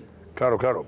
Bueno, pues nada. Con eh, lo cual ¿qué- serán siete querellas en total. Están en diferentes juzgados de Barcelona y todos los juzgados lo que están haciendo es requiriendo a la policía para que digan dónde lo han enviado, con lo cual es muy posible que todas se acaben acumulando donde se acabe viendo finalmente eh, este procedimiento. Y desde luego lo que, lo que vamos a ir es a saber eh, quién lo hizo, por qué lo hizo y quién lo ordenó. Eso es lo que nos interesa y lo que tenemos en común todos los que sufrimos o padecimos estos seguimientos. Don José María, un momentito porque le va a preguntar eh, Alfonso Berros antes de despedirle. Sí, brevemente. José María, buenas noches. Eh, eh, mi pregunta es muy concreta. Buenas noches, Alfonso. ¿Qué tal? Eh, he leído alguna de esas querellas, al menos, eh, su contenido y realmente eh, de qué manera señalan ustedes las eventuales responsabilidades. Lo que me gustaría saber es, ¿hay algún indicio sobre eh, hasta dónde puede llegar esa responsabilidad máxima? Eh, ¿Qué persona dentro de los Mossos o alguna persona dentro del escalafón político? Porque parece evidente que se trata de una trama y que, por lo tanto, tiene que tener una organización jerárquica para llevarse a cabo. Pues sinceramente no tengo ni idea. Nosotros lo primero que hemos pedido es que, lógicamente, estos informes, tiene que, eh, estos seguimientos tiene que haberlos hecho alguien. Pues que vengan las personas que se identifican, las personas que lo han hecho.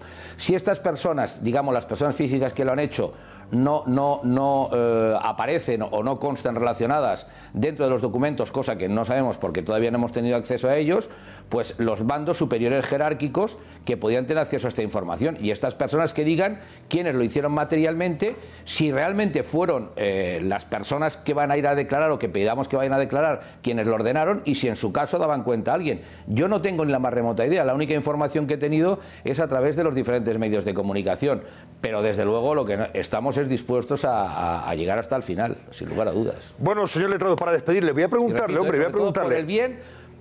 Sí, sí. Dígame. Sí. No, no, no. Digo, y sobre todo por el bien y por el buen nombre de los Mossos de Escuadra, porque eh, que toda por España supuesto. sepa que la inmensa mayoría de los Mossos de Escuadra son profesionales extraordinarios que cuando se ponen su uniforme cuelgan la ideología en la percha, que cada uno pensará como quiera y que sirven al ciudadano de una manera ejemplar. Bueno, le pregunto brevemente, por último, ¿ha escuchado usted a, a Puigdemont? ¿Sabe que le ha encargado a sus abogados, porque tiene varios, eh, parece, ¿no? Que presenten una demanda contra el Estado español ante Naciones Unidas por violación de los derechos humanos? Eh, no sé, a usted como letrado, ¿qué le, qué le parece esto? ¿Eso tiene futuro? ¿Prosperará eso? En fin, Pues, eh, ¿qué valoración la verdad es que me, me- me- me gustaría mucho leer eh, cuál es el derecho humano que se le ha violado al señor Puigdemont, mm, porque hasta donde yo sé y hasta donde yo conozco y llevo no solamente más de 30 años como abogado, sino otros 30 dando clase en dos universidades y soy doctor en Derecho, pues no se me ocurre que al señor Puigdemont se le haya violado ningún derecho humano. Al señor Puigdemont se dictó como consecuencia de unos hechos delictivos una orden de detención, este señor se había marchado de, España, eh, posteriormente se inició la, euroorden, después el Estado español de manera soberana eh, se decidió que esta euroorden eh, no, no, se tramitase hacia adelante, el Estado español me refiero al Poder Judicial, que también forma parte de, eh, del Estado, ¿no? se decidió que, este, que esta euroorden no, se, no, no, no siguiese hacia, hacia adelante. Y este, en este momento este es, es, un señor que se puede mover libremente por toda Europa, pero que el momento en que venga a España será detenido y tendrá que responder de una serie de delitos. Si esto es una violación de derecho humano, pues no sé, a lo mejor es que... Ahora, eh, eh, yo creo que si algo sagrado es el derecho de defensa. Y todo el mundo tiene derecho a defenderse como mejor quiera o como mejor entienda o como mejor corresponda. Y, y, y en definitiva lo que está, yo creo, es utilizando todo tipo de estrategias procesales pero vamos, me da la sensación de que esta demanda contra el Estado español tiene muy pocas posibilidades de prosperar. Señor letrado, José María Fuster Fabra, ha sido un placer, gracias y buenas noches. Gracias. El placer ha sido mío. Muchísimas gracias. Saludos a todos. Adiós, adiós. Hasta una próxima ocasión. Bueno, vamos a hablar de pensiones, hombre, porque esto del debate de las pensiones sigue muy abierto, muy vivo. Y los pensionistas que siguen movilizándose. Hoy Rajoy ya anunciaba que coge el toro por los cuernos y acepta, por supuesto, ese debate monográfico en el Congreso de los Diputados y él va a ser el que va a responder de todo lo que la oposición quiera eh, comentar, preguntar en relación con las pensiones y esa subida que ha llevado a los pensionistas a la calle porque consideran que no les garantiza poder adquisitivo. Vean lo que decía en el programa de Ana Rosa Quintana en Telecinco y vamos a hacer un debate para explicar cómo está el tema de pensiones, cuánto se puede subir, cuánto no se puede subir y qué hay que hacer de cara Un monográfico. Un monográfico sobre pensiones, yo quiero celebrarlo en 10 o 12 días. También se le ha preguntado sobre esa subida que los pensionistas, aquellos que tienen las pensiones más bajas, están cuestionando porque dicen que no les llega, no les llega ese 0,25 y ha respondido sobre este particular. Y yo dije cuando presenté mi candidatura a la presidencia del Gobierno a finales de 2011 en las Cortes que tendríamos que apretarnos el cinturón, pero que solo iba a haber una partida de los presupuestos que yo no iba a bajar, que era la partida de las pensiones. Y lo conseguimos hemos subido las pensiones, es verdad que poco, lo único que no podemos hacer es eh, gastar lo que nos llevó a la crisis, gastar lo que no tenemos. Yo presido un gobierno que dedica más del 40% de su gasto a pensiones. Por tanto, este no es un problema de que yo no quiera subirlas, yo quiero subirlas, pero es un problema de poder. Y yo, hay unos recursos y esos recursos hay que distribuirlos quiere subirlas, pero el problema es poder subirlas. Carlos Cuesta, ¿se pueden subir o no se pueden subir? Hoy los pensionistas han vuelto a salir a la calle. Bueno, ¿Se eh... pueden subir las pensiones, por lo menos aquellas más bajitas? Podemos las más satisfacer por lo bajitas- menos a los que cobran menos. No Las sé. más bajitas han subido, las del medio han subido y las que no han subido han sido las más altas.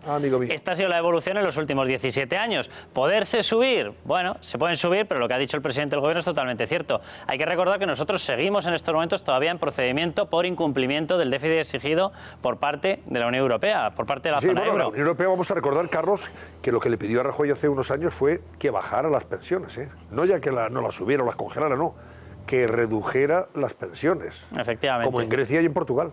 Efectivamente. Y A ahí ver, aquí puso pie en pared. nos hemos Rajoy. escapado de determinadas condiciones impuestas por el BCE, impuestas por eh, Bruselas, por el hecho de estar cuadrando nuestro déficit. Si dejamos de cuadrarlo, pues bueno, podemos pedir ayuda al maestro armero, podemos encontrar por ahí una fuente de ingresos desconocida hasta el momento, o podemos quedarnos totalmente solos. Son las opciones que tenemos y a partir de ahí hay que cuadrar los recursos. Y si seguimos teniendo más de un 3% de déficit, querrá decir que cerramos cada año con boquete y por tanto nos sobra dinero. Pero bueno, ¿Cuál vamos- es el perfil del jubilado? Claro, vamos a ver, De eh, los jubilados en España. si eh, de lo que se están quejando es totalmente cierto, si no es cierto, cómo está la situación de las pensiones dependiendo de cada persona que le afecta. Perfil del jubilado medio, hemos puesto O porque va en masculino, jubilado, y ahora vamos a ver cómo les está afectando a las mujeres. El perfil del jubilado medio en España, 70 años de edad media, y está con una pensión contributiva, es decir, aquí no hemos metido aquellas por las cuales no se ha pagado a la seguridad social durante toda la carrera laboral. Exclusivamente los que han cotizado, Sí, que es la mayoría. efectivamente. Efectivamente.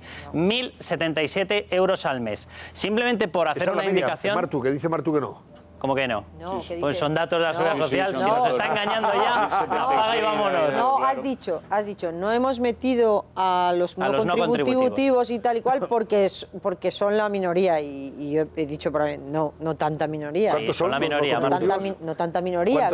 No, pero, a ver, contributivos son 9 millones y medio, me parece que es, y no contributivos me parece que están 2 millones. No, no hay, no hay 9 millones, solo hay 7 millones de pensionistas. Lo que pasa es que hay pensionistas que cobran dos pensiones. Y Bueno, por eso hay 9 millones y medio de yo te pensiones. hablo- Ah, claro, hay claro. 7 millones Estamos de hablando- pensionistas en España, nada más. Sí, que sí. 9 millones y medio de pensiones, Marto. 7 millones de pensiones. Son Sí, cosas Bien, distintas. bien, bien, dato, dato. Vale, pues sí, pero vamos a ver, si estamos hablando de cuántos, de cuántas pensiones ¿Cuántas contributivas pensiones se cobran. Claro, y claro, si la minoría no es 2 sobre 9, pues entonces ya cerramos la persiana.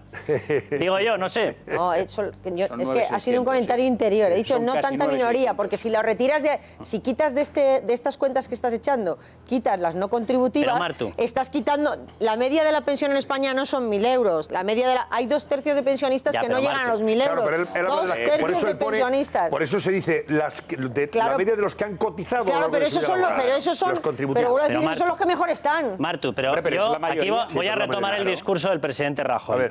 Eh, repartir lo que hay, bueno, tiene su complejidad. Repartir lo que no hay no tiene ninguna complejidad porque es imposible.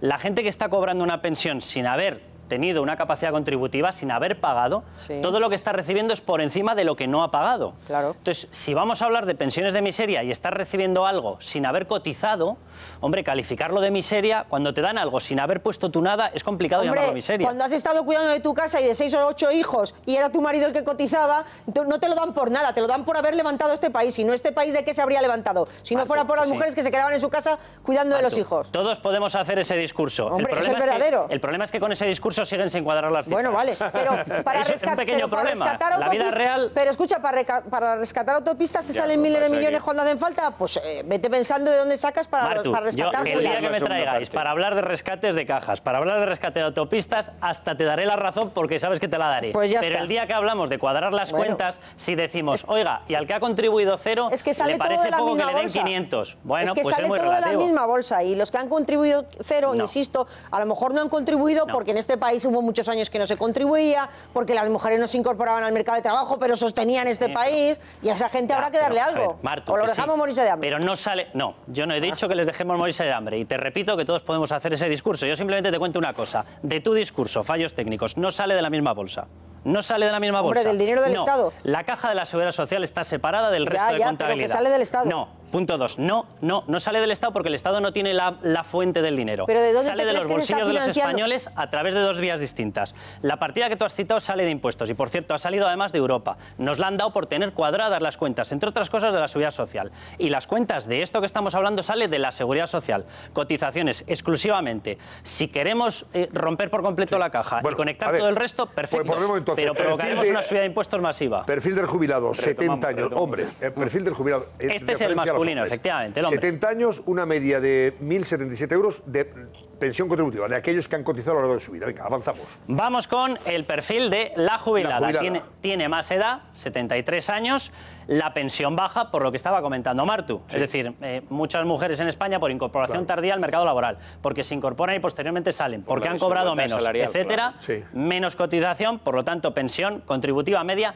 797 euros. Por cada viudo pensionista, cuidado con este dato, hay 12 viudas pensionistas, ¿vale? Muchas de estas eh, son no contributivas, es decir, se están pagando pese a que no se ha pagado por parte de quien lo recibe. ¿Quién sí ha pagado? La persona, el cónyuge que moría. Y se le traslada una pensión precisamente por esa viudedad. Este es el perfil medio. Vamos a ver más datos de cómo está la situación de quienes están cobrando en estos momentos prestaciones por jubilación. Las provincias donde hay eh, pensiones más altas, y ahora voy a hacer una pequeña explicación. Vizcaya, 1.362 son pensiones medias contributivas. Álava, 1.346, Asturias 1.309.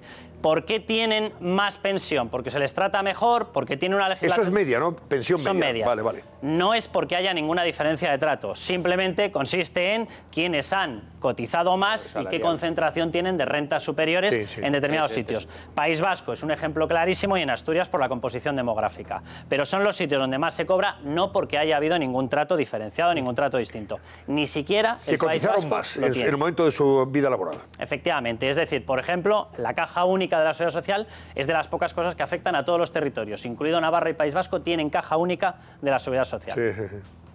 Vamos con más datos, vamos a ir viendo cómo está ese perfil.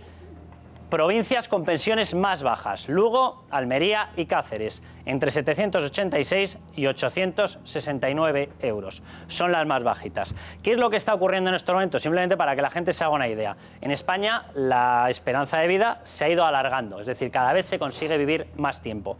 Las pensiones medias, lo hemos visto antes, 1.070 y pico euros. La gente que está est- entrando en estos momentos en el sistema de cobro de las prestaciones por jubilación está entrando con 1.400 euros. Los nuevos pensionistas, para que nos hagamos una idea de cómo está evolucionando, cuando se dice no suben las pensiones, bueno, la media que te está computando todo lo pasado, 1.077. Las nuevas que entran ahora entran por 1.400 euros. Es decir, sí están subiendo. En fin. Pues eh, no sé. Martu, que me esto, miras esto con cara. evidentemente no. No, no, es que no- Esto es- en- Eso no en frena que la gente caso, siga en la calle, claro. Efectivamente, no Claro, frena que es esto, que es en fin, vaya vaya a solucionar el debate, que ahora mismo Y está es que las estadísticas lo soportan todo. sobre todo- las estadísticas lo que- soportan todo, claro. pero la realidad es que dos tercios de los eh, pensionistas españoles no llegan a mil euros, dos tercios.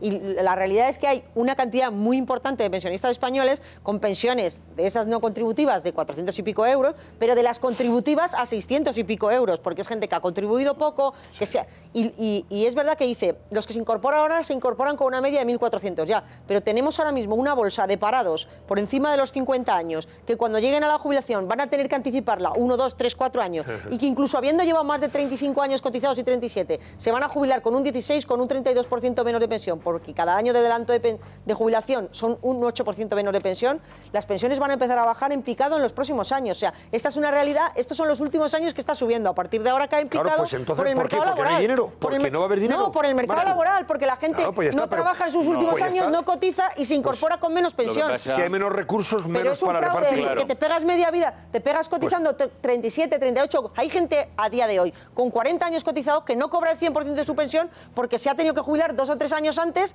porque ya no trabajaba, no cobraba nada y bueno, me jubilo anticipadamente, 24% menos de pensión. Y ha contribuido 40 años. El sistema es muy injusto, hay que revisarlo entero. El sistema es tremendamente injusto. Ahí es donde está fallando. Es verdad que hay que revisar el, sistema. Yo le pongo tarjeta roja al, al sistema político español. Seguro. Al político Estoy en de acuerdo. general. Porque si El hay, Pacto de si hay- Toledo es una vergüenza. Si hay un problema, bueno, es que, se- a ver, se crea ese pacto de Toledo para sacar de la calle y del populismo Claro, el de la problema de, las pensiones. Algo y al final ahora esto. resulta que sigues teniendo el, el pacto de Toledo vivo y sin embargo está todo el mundo haciendo populismo con las pensiones. Es una, es yo tarjeta roja a todos, porque es, eh, si hay algo capital, capital pasa- en esencia como pilar de Estado, es el tema de las pensiones.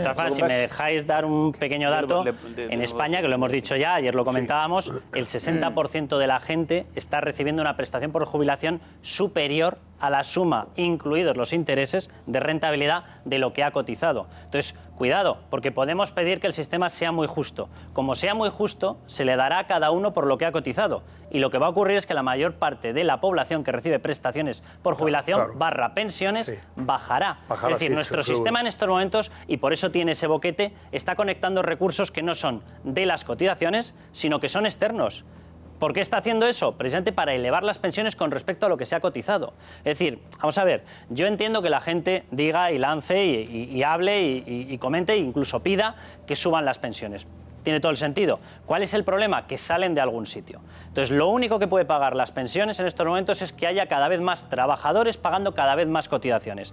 Si lo que estamos haciendo en estos momentos es conectar una bolsa de impuestos a esas cotizaciones y los subimos, esa gente tendrá No, no, menos y salarios y menos Y poder el de ahorro. problema no son los, los pensionistas de ahora, que tienen Claro. todo el derecho Hombre, por supuesto, claro, a- reclamar eh, que hay, eh, subidas para garantizar su poder adquisitivo. El problema son las pensiones de los que estamos aquí Está, sentados. está claro, está claro. A ver si la boom que vamos a viene cobrar. hay un tema, si vamos a cobrar alguna. Hay un tema Claro, muy interesante, porque claro, eh, el eh, presidente del gobierno hoy, digamos que ha apagado un fuego, Sí. pero, pero ha dejado otro que está todavía eh, bastante vivo, que es eh, cuando el presidente ha reconocido que el 0,25 es una subida pírrica, pues ha hecho lo que hasta ahora no había hecho el gobierno, que era reconocer que efectivamente es una subida pequeña, porque hasta ahora el discurso oficial era es una subida importante, hay que valorarla, los pensionistas tienen que estar agradecidos, etcétera. Entonces, Rajoy ha cambiado el paso del discurso. Pero al mismo tiempo, cuando eh, se le ha preguntado, pero ¿y no se puede subir más de un 0,25? Entonces lo que ha contestado es, no hay de dónde sacar.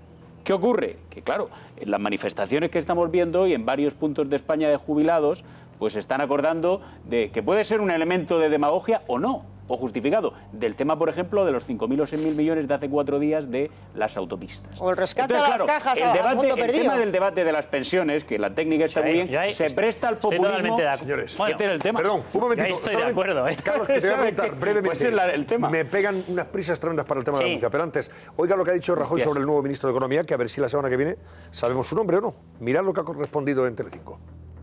Eh, presidente, ¿quién va a ser el nuevo ministro de Economía? Pues eso habrá que nombrarlo, claro, es decir, eh, tendrá que ser el que diga el presidente del gobierno, pero saldrá la semana, la semana, la semana que viene lo nombraremos. ¿Está en el gobierno? Eso no se lo puedo decir. Hay dos posibilidades, que esté o que no esté. ¿Y va a haber algún tipo de, de remodelación más, algún cambio más en el no, gobierno? Posiblemente el elegido o la elegida no lo sabe, pero usted lo sabe Eso seguro. tenga la total certeza. No puedo ser más claro. Que el elegido o la elegida Bueno, no lo sabe bueno, aún. Bueno. ¿Tú sabes quién va a ser? ¿Cuesta? No, hay quinielas, como siempre. Se habla bueno, mucho no. de Romano Escolano. Se ha hablado, a mí lo que me cuentan es que se ha hablado más en pasado de Alberto Nadal. Eh, se habla de alguna otra persona, que no voy a decir el nombre porque. Para no quemarlo. Por algún sitio lo escribí y me llamó inmediatamente y me dice que somos amigos. no me mates. Pero bueno, hay Pero Se nombres. habla mucho de Fernando Becker, mucho. De Fernando Becker Es el que también. más se habla en los Sí, ambientes eh, empresariales de que más se habla de Fernando, Fernando Becker, exacto. Se- Fernando Becker, el único problema Oye, que ¿y tiene ¿Por qué que no lo dices? Porque este te lo no, no, no, porque estaba Tú pensando. lo sabías. No, yo me había quedado, ha dicho Mariano Rajoy, ha dicho hay dos opciones, que esté dentro del gobierno o que no. Bueno, pues yo me había quedado en la primera. Eh, Fernando Becker, el único problema que podría tener, que lo sabemos todos, hay un enfrentamiento entre las eléctricas y el ministro Nadal. Fernando Becker acaba de salir de una de las eléctricas. Entonces, la verdad que provocaría un choque un tanto extraño. Pero oye, nada es descartable dentro de las Claro, opciones de Mariano Rajoy. En fin. Bueno, gracias, Carlos. Hasta la semana que próxima. viene, Carlos Cuesta, gracias. Volvemos enseguida. Vamos a hablarles de, de cómo están las cosas en relación con el caso del niño Gabriel Cruz, desaparecido en, en Almería. A ver si podemos encontrar algún motivo para la esperanza y encontrarlo más pronto que tarde también, a su vez. Y encontrarlo sano y salvo, que es lo más importante. Estamos de vuelta enseguida.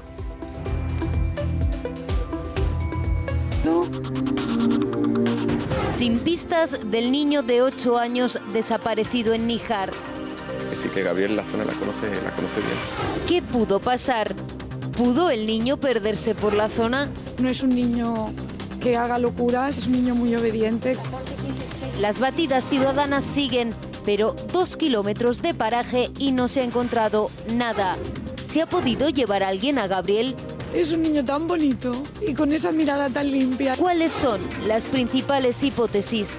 Esta noche las analizamos en el cascabel. 55 horas lleva desaparecido el pequeño Gabriel y desgraciadamente no hay novedades en su búsqueda. Susana Ollero, vamos a ver, ¿qué hipótesis empiezan a barajarse sobre la desaparición? Pues sí, Antonio, vamos con las novedades. Hasta 56 horas, ya estamos hacia la hora 56 en las que Gabriel lleva desaparecido y todavía no sabemos nada de él. La lluvia ha dificultado las labores de búsqueda que se suspendieron por la noche y no ha permitido volar los drones de la policía. Drones como este que estamos viendo en las imágenes, en estas horas que además son cruciales. Esta misma mañana el rastreo se ha intensificado en En Almería. El operativo está compuesto por más de 200 personas, entre voluntarios, Guardia Civil, Policía Local, servicios de emergencia, aquí lo están viendo, Protección Civil también y hasta un dispositivo de incendios forestales. Peinan cortijos, pozos, cuevas y se ha reforzado la vigilancia en todos los puertos y aeropuertos de España. Pues la noche, imagínate, fatal, con la incertidumbre de, de cómo está, dónde está, qué le estarán haciendo, estará bien. La zona de rastreo se ha ampliado hoy desde el pueblo donde el pequeño de 8 años desapareció el pasado martes hasta un radio de 2 kilómetros, como están viendo aquí, hasta Las Negras. Esta es la zona en la que se ha rastreado hoy. La policía investiga cualquier pista, incluso a la familia cercana y a los vecinos. Se trabaja con todas las hipótesis que nos podamos imaginar, porque como tampoco tenemos mucha información, pues no descartamos ninguna hipótesis. Ya lo han oído, los agentes no descartan ningún testimonio, como el de una vecina que asegura que escuchó a esa misma hora el portazo de un coche. Era como un portazo. Un portazo de un coche muy fuerte, da un portazo con, con mucho genio. ¿Y fue aquí precisamente? Justamente por aquí, por ahí, por donde va esa señora, una cosa así, que mi casa está ahí detrás.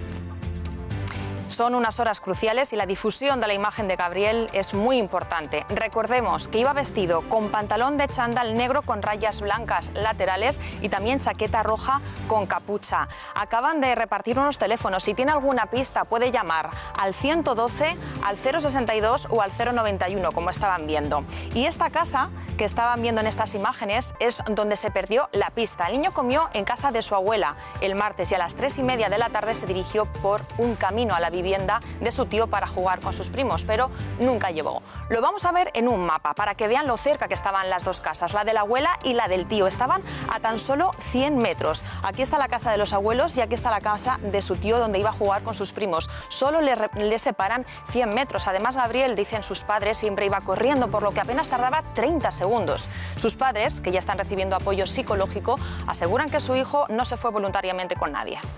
No es un niño que se vaya a ir voluntariamente con nadie, estaba enseñado a que si alguien le, le hacía algo que chillara, esto lo tenía él muy No claro. pase con desconocidos, siempre, que no- Si que- alguien a chillar y él ha hecho pruebas de chillar y sabe que él no se puede montar con nadie.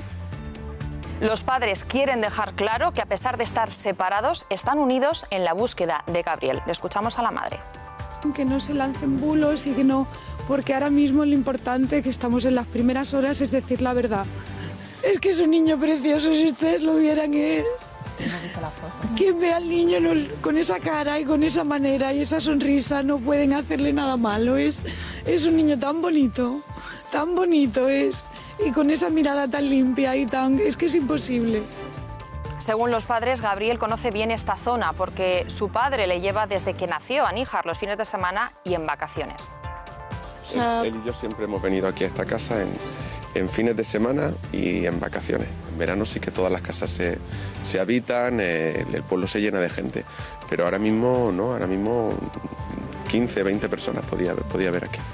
La policía ha decretado una orden de búsqueda internacional y el ministro del Interior, Juan Ignacio Zoido, acaba de anunciar que los especialistas de la UCO que participaron en la investigación y el descubrimiento del cuerpo de Diana Kerr se suman a la búsqueda de Gabriel Antonio. Bueno, pues se van a poner todos los medios a disposición de, de, de una causa, que es la de encontrar a este, a este pequeño, a, Gabriel. Alejandro Uroz, portavoz de la Policía Local de Níjar. Buenas noches, Alejandro. Buenas noches. Bueno, pues eh, yo no sé, a esta hora, ¿qué puede usted contarnos sobre esa, sobre esa búsqueda? No sé qué radio de acción están ustedes eh, eh, ahora mismo desarrollando la, la- la- la búsqueda. Eh, si hay carreteras cercanas o no al lugar donde desaparece, que pudieran dar o sugerir la posibilidad de que alguien se llevara al niño, no sé. ¿Qué puede contarnos? Bueno, pues en la actualidad, hace unas dos aproximadamente, yo abandoné el, puesto de mando avanzado, no había novedad alguna en cuanto a la aparición de, del joven. El radio de búsqueda que se ha marcado hoy han sido dos kilómetros. Eh, ayer se trabajaba con un- unos 800 metros aproximadamente. Hoy se ha abierto el, radio a dos kilómetros y mañana seguramente se recibirán indicaciones por parte de, del GREA, que es el grupo especializado de rescate de la Junta de Andalucía, en el que van a establecer las pautas de, búsqueda. Hoy contábamos con grupos de, rescate avanzados que se han trasladado de las diferentes comunidades autónomas para ayudar en la búsqueda de, de este joven, ya que el terreno, pues bueno, eh, aparte de, bueno, eh, aparentemente parece que es todo llano, pero no es llano, es monte, eh, las platas, como se dicen, son de monte bajo, pero realmente dificultan también la, búsqueda, por lo que los voluntarios también están haciendo una labor bastante importante. ¿Hay carreteras cercanas a, a esos, a ese punto, esos 100 metros que separan la casa de, de la abuela de Gabriel y de sus tíos, a donde se había dirigido después de, después de almorzar, después de comer? ¿Hay carreteras cercanas que pudieran sugerir la posibilidad de que alguien efectivamente, hemos oído antes a una vecina, oímos un portazo muy fuerte? ¿En qué punto concreto? Pues según la manifestación de la vecina, el portazo lo escucha en la puerta de su casa, que nos encontraríamos en el, justo en el, en el centro de- del recorrido que marca eh, Gabriel. Es la carretera más cercana, eh, si han visualizado anteriormente el mapa, eh, se encuentra la cara sur de, de las imágenes que, que se han proyectado en estos últimos días. La carretera está cercana, no hay más de 200 metros, pero bueno, por la peculiaridad que tiene el niño, que bueno, pues un niño más bien prudente, miedoso quizás, eh, se descarta esa, esa posibilidad por parte de, los padres. Nosotros manejamos nada más que la línea de, búsqueda, la de investigación es otra línea paralela y no, no barajamos tampoco posibilidades, simplemente analizamos lo- las posibles búsquedas por, por zona y, dependiendo un poco de las indicaciones que nos manda el GREA, que se encuentra al mando de- del alférez del puesto de la Guardia Civil de, de. Y eso, eh, como comentaba, la línea de investigación es una línea paralela que se está llevando a la de búsqueda y nosotros nos estamos centrando principalmente en eso, en la búsqueda, en, poder eh, guiar a todos estos voluntarios que se están trasladando al, municipio para colaborar con la búsqueda, pues tanto en cuestión de aparcamientos de vehículos, así como indicarle un poco que lleven chalecos para que puedan verlo en la carretera, ya que el traslado lo están haciendo prácticamente a pie todo, todos los rastreos. Eh, Es cierto que, eh, porque ayer se publicó, nosotros aquí en un momento lo, desmentimos, hoy alguien ha dicho que sí, que era, que era cierto, que el padre de, Gabriel lo había, lo había dicho. ¿Hay una, una recompensa para el que pueda dar información fidedigna sobre el paradero de, de Gabriel? La verdad que sinceramente es un tema que no lo, lo desconozco, la verdad porque son ya temas pues casi, bueno pues además de eso, eh, mensajes de que era un vehículo, que era un señor, eh, ya son un poco especulaciones, eso es la línea de investigación, nosotros solamente llevamos búsqueda y todo este tema la verdad que estaba un poco ajeno y no, no prestamos tampoco mucha atención. Eh, son cosas que rumorea la gente, no son pistas que te lleven a, nada, a, a encontrar al niño y en este caso, bueno, pues las descartamos, no hacemos, bueno, no se les presta tampoco mucha atención. Alfonso. Sí, Alejandro, buenas noches. Buenas Eh, noches. qu- Quería hacerle dos preguntas, eh, sobre, todo, sobre todo la primera. De, claro, el recorrido es tan pequeño, la hora eh, resulta que son las, eh, las tres de la, sí, las tres y media, tres, tres y media de la tarde, el recorrido es muy pequeño, es un camino de tierra, eh, es cuestión de segundos y por lo tanto eh, da la sensación de que, de que eh, a ese niño alguien se lo lleva. Eh, y por lo tanto, la primera pregunta es, eh, ¿ustedes entienden que puede ser alguien que no conozca bien la zona eh, o que no haya transitado por ella o que no tenga conocidos en la zona, etcétera? Esa es la primera pregunta y más importante que quería hacerle. Eh, bueno, persona conocida es un, es un pueblo muy cercano a otro que sí es verdad que es zona costera, muy con mucha afluencia de, veraneantes. Y no es normal que una persona entre en esta barriada, ya que son, una casa, bueno, son, casas bajas y es muy poquita la, la población que hay en, en esta zona. Entonces no se entiende tampoco que cualquier persona entre, no tiene sentido porque no hay establecimiento ni nada de esto pero como decía anteriormente, como nos limitamos simplemente a búsqueda, eh, tampoco nos, nos centramos en pensar si ha entrado un coche o ha dejado de entrar. Eso, la línea de investigación son los que intentamos que ellos focalicen su trabajo y nosotros centrarnos en el nuestro para poder trabajar cada uno de la mejor forma. ¿Y, y se había dado alguna incidencia con algún niño en los últimos años en esa zona? ¿Que hubiese intentado alguien llevárselo, etcétera? No, no, no, Yo del tiempo que llevo trabajando ya en la jefatura de la policía local de Níjar no, no hemos tenido ningún caso de esto. El último fue la desaparición de un, de un señor mayor, pero casos de, de este tipo con un menor y demás y con estas características no, no habíamos tenido ninguno. ¿De abusos tampoco? De abusos tampoco, o sea que no, no hemos tenido casos así concretos ni, ni de abuso, ni de desapariciones, etcétera. Bueno, Alejandro Uroz, portavoz de la Policía Local de Níjar, le deseamos de verdad mucho éxito en la búsqueda. Ojalá que en las próximas horas tengan ustedes buenas noticias ¿eh? y, nos, Muchísimas gracias. y nos den la buena nueva de que ha sido recuperado el, el pequeño Gabriel, sano y salvo. Gracias, señor señor Uroz. La verdad que es un- nos ponemos en, en el papel de los padres y Esa esa se madre te es- hiela la sangre. Y además de- es que esa madre explicando, es que es un niño tan bonito y con esa cara, y na- nadie va a hacerle algo malo y, y piensas, Dios mío, vivimos en un mundo horrible donde hay gente horrible que hace cosas malas a los niños, ¿sabes? Entonces, ¿sabes? Quiero decir, Claro, te pones en el peor de los, Claro, de te los- de los en- escenarios. Efectivamente, te pones en el peor. Porque pero es que bueno. son 100 metros, el niño no se ha podido ir a ningún sitio, al niño se lo han tenido que llevar.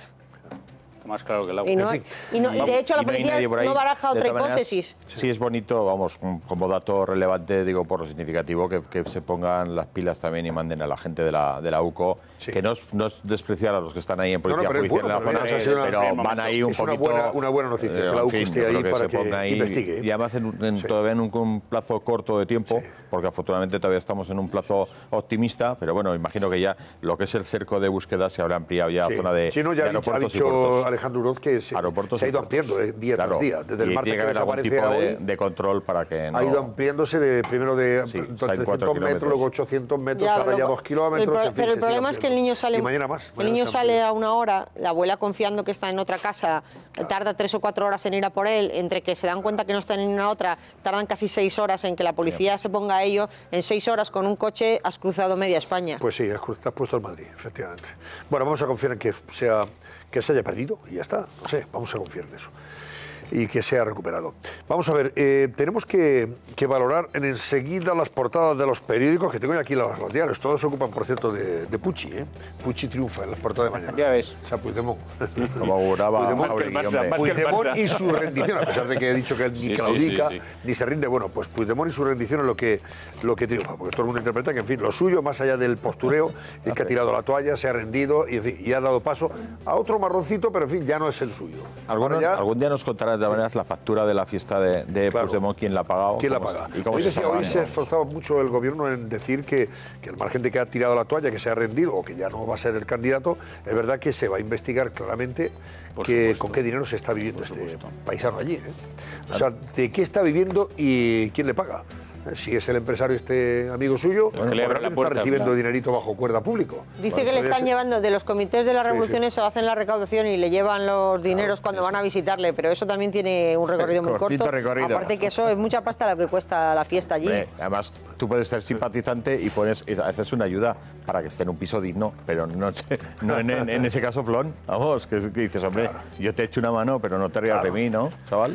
Bueno, señores, pues venga, pues vamos a, a- a la portada de ABC que habla de Puigdemont se rinde, ahí lo tienen ustedes, renuncia a ser investido, pero pretende seguir viviendo de los catalanes como autoproclamado presidente en el exilio. Anuncia una querella contra el Estado ante la ONU, mientras tiene que aceptar que ya no gobernarán en Cataluña ni él ni ninguno de los sustitutos presos. ¿eh? Que por lo menos lo ha aceptado. Ahí lo ven ustedes, en portada de, de ABC. ABC también se ocupa en su segunda portada de titulares sobre el debate de las pensiones. El debate sobre las pensiones irrumpe en el campo de batalla político, cosa que ya hemos venido advirtiendo aquí desde, el- desde hace ya tres días. Hablamos de la posibilidad y sobre todo la inconveniencia de que esto fuera objeto de arma arrojadiza política electoral Pues- y pues- pues partidista. va a serlo. Y amigo mío, y eso, Ya- y eso es lo que menos lo está haciendo, ya lo está haciendo porque además hay algún varón del Partido Popular que está que fuma en pipa con este tema. ¿Sí? Claro. ¿Por qué? hombre, pues básicamente pues eh, ya, ya se está viendo seguramente después de la declaración que ha hecho esta mañana Mariano Rajoy. Ha dejado abierta la puerta a que se haga, no sé si una subida, pero algún retoque que sirva para mejorar la condición de los jubilados. Pero la otra cuestión es quién se va a anotar ese tanto político. Cuando estamos viendo cómo Partido Socialista, Podemos y Ciudadanos están llevando a rastras al Partido Popular a hacer lo que no quiere hacer, que es subir las pensiones. Ese es el tema.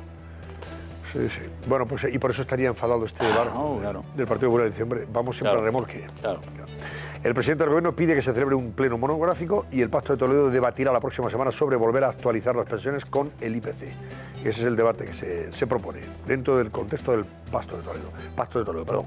Rajoy receta calma al PP y que se fíe de la recuperación económica, no de las encuestas, ¿eh? porque de esa forma podría eh, amortiguarse la pérdida de, de- votos, según las encuestas, insisto, y los salarios subieron un 0,2% el año pasado, 10 veces menos que los precios. También habla de Putin, que exhibe músculo nuclear para que el mundo le escuche. El líder del Kremlin comienza la campaña para su reelección anunciando nuevas armas nucleares.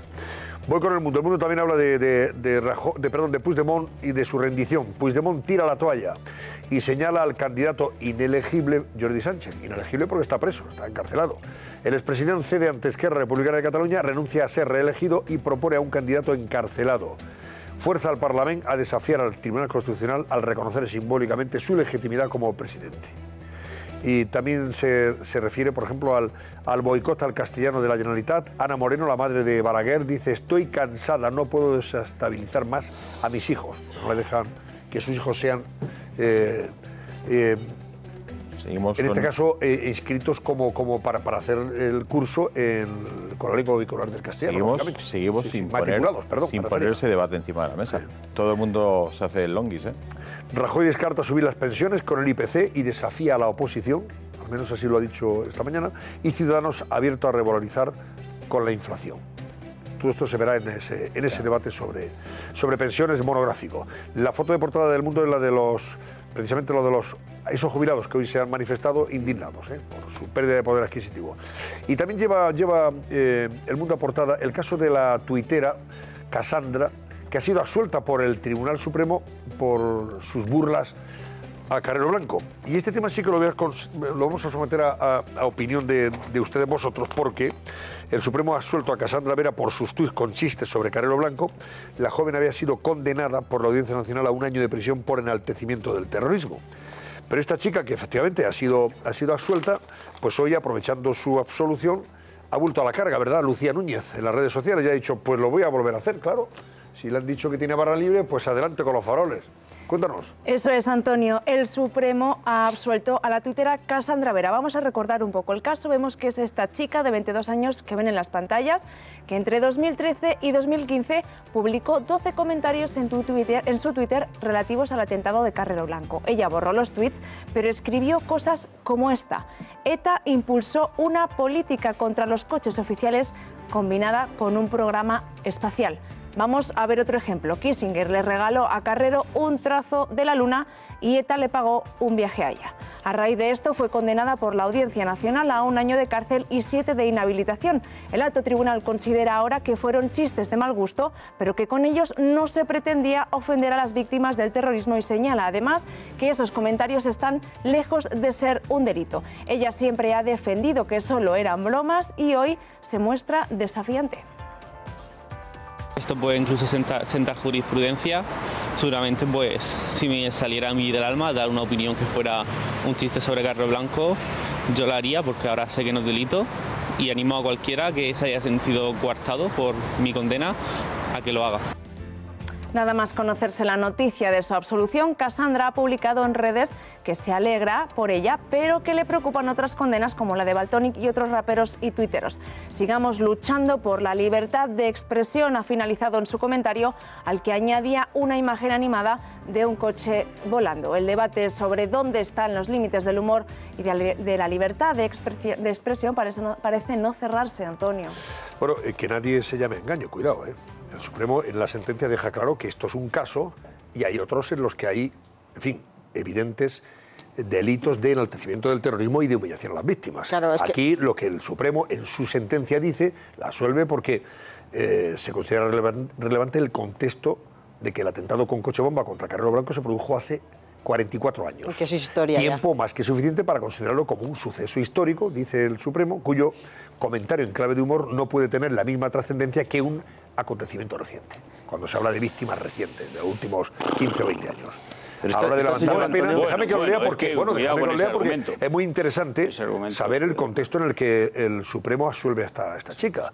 Porque hay otros que piensan, ah, amigo mío, pues a partir de ahora barra libre. Bueno, vamos a ver, ¿eh? cuidadito. A la hora de levantar la pena, el tribunal también tiene en cuenta la edad de la acusada cuando escribió estas cosas. Tenía 18 años cuando comenzó a publicar estos tuits. O sea que, bueno. Bueno. La sentencia destaca que es necesario sopesar y aquilatar con exquisito tino y cautela en relación a estos casos cuando debe producirse una respuesta penal. En ese sentido, recuerda que respecto a otros acusados, la Sala Segunda del Tribunal Supremo ha examinado chistes o comentarios, pero que en prácticamente todos esos asuntos las referencias a, a esta persona, a Carlos Blanco, se entremezclaban con otras conductas de enaltecimiento del terrorismo que presentaban una relevancia muy diferente a la que alberga el chiste fácil sobre el atentado al expresidente del gobierno. Hasta el punto, recuerda en su sentencia el Supremo, que solían ser esos otros actos los que justificaron en esos supuestos la aplicación del artículo 578 del Código Penal, delito de enaltecimiento del terrorismo y humillación de las víctimas, que se descarta, sin embargo, a Casandra. O sea que cuidadito, no se, que no se crean que esto lo que supone para libre para escribir lo que les dé la gana y seguir humillando a las víctimas. Porque van caminito de Jerez, como Claro. el Baltoni este, que lo. Claro, este, A es pesar que de que se aquí, pueda- sí, había hay dos cuestiones que a mí me han llamado la, la atención. Una que es bastante comprensible y que tiene que ver con lo último que tú has dicho, ¿no? que lo que dice el Tribunal Supremo es que por una parte hay un chiste, es verdad, y por otra enaltecimiento del terrorismo. Pero sin embargo que hay preponderancia del componente humorístico y, que por lo tanto y por- y que solapa... es un hecho histórico de hace 44 So- años, Exacto, solapa lo que podría ser un delito. Eso por una parte. Y segundo, lo que a mí sí que me parece inquietante es que por hacer alusión a un, a un hecho histórico de hace 40 años, o 30, o 60, eso pueda limitar lo que sea un acto de apología de la violencia. Porque claro, si uno se dedica a ensalzar a una banda que operaba hace 60 años, me da igual que sea terrorista o neonazi, y por el hecho de que operaba hace 60 años, eso ya no va a tener No, una es que relevancia eso no penal, eso pues no- eso, es eso no bastante dice- eso peligroso. no dice el Supremo. El Supremo- No, no, no. Lo que, lo que plantea es que ese, ese es un elemento limitativo para que esta persona se le condene. Y a mí me no, parece es inquietante. limitativo porque Eh, dice que hace humor sobre un hecho histórico, no ofende a unas víctimas, a, a unos familiares que estén recientemente perdida una víctima. Sí, sí, lo que y también hace una mención muy importante sobre el odio. Dice que odiar no es delito, dice el Supremo, y está muy bien en un párrafo.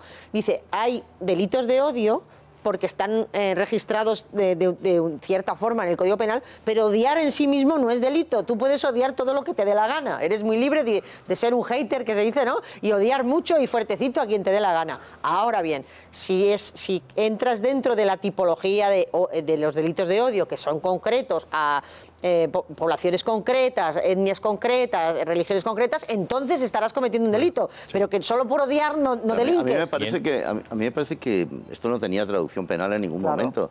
Lo que no entiendo es que haya llegado al Supremo, debo decir la verdad. Esta Bueno, señora- pero está bien, porque eso, eso es el Tribunal de Garantías, ¿no? Esta señora es una Para- descelebrada, obviamente, es una señora que es una descelebrada.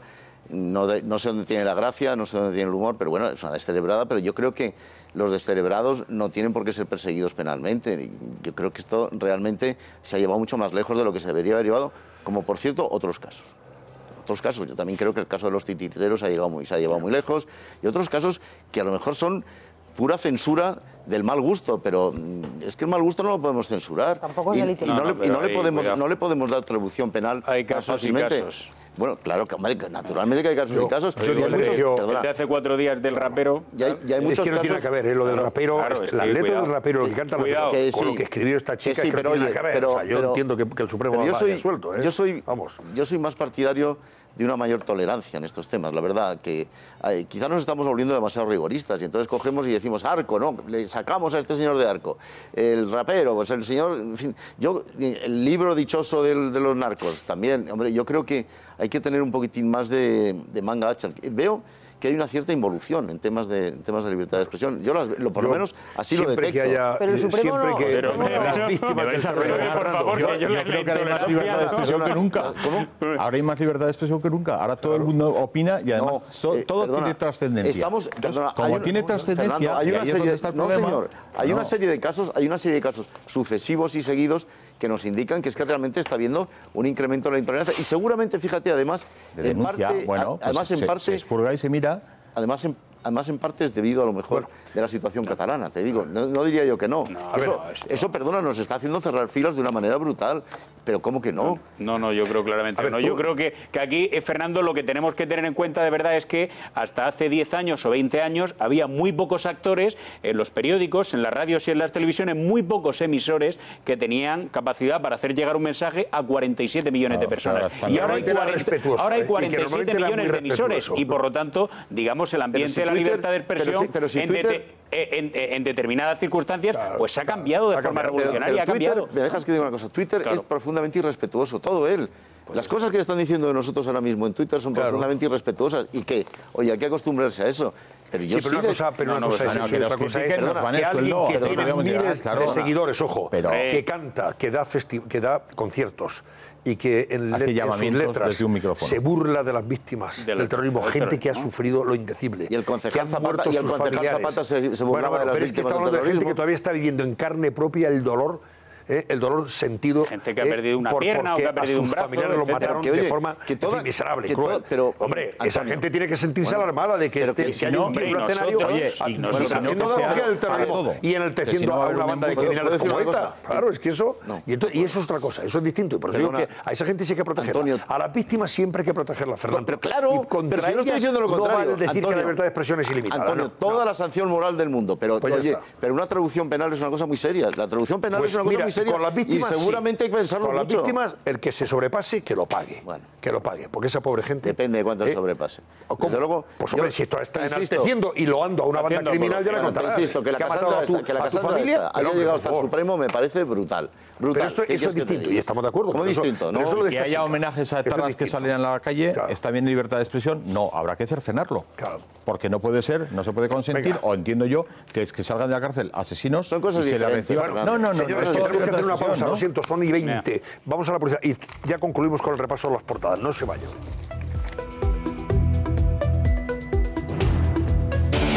A continuación, les avanzamos las portadas de los principales periódicos que encontrarán mañana en los kioscos. Esta noche, en El Cascabel.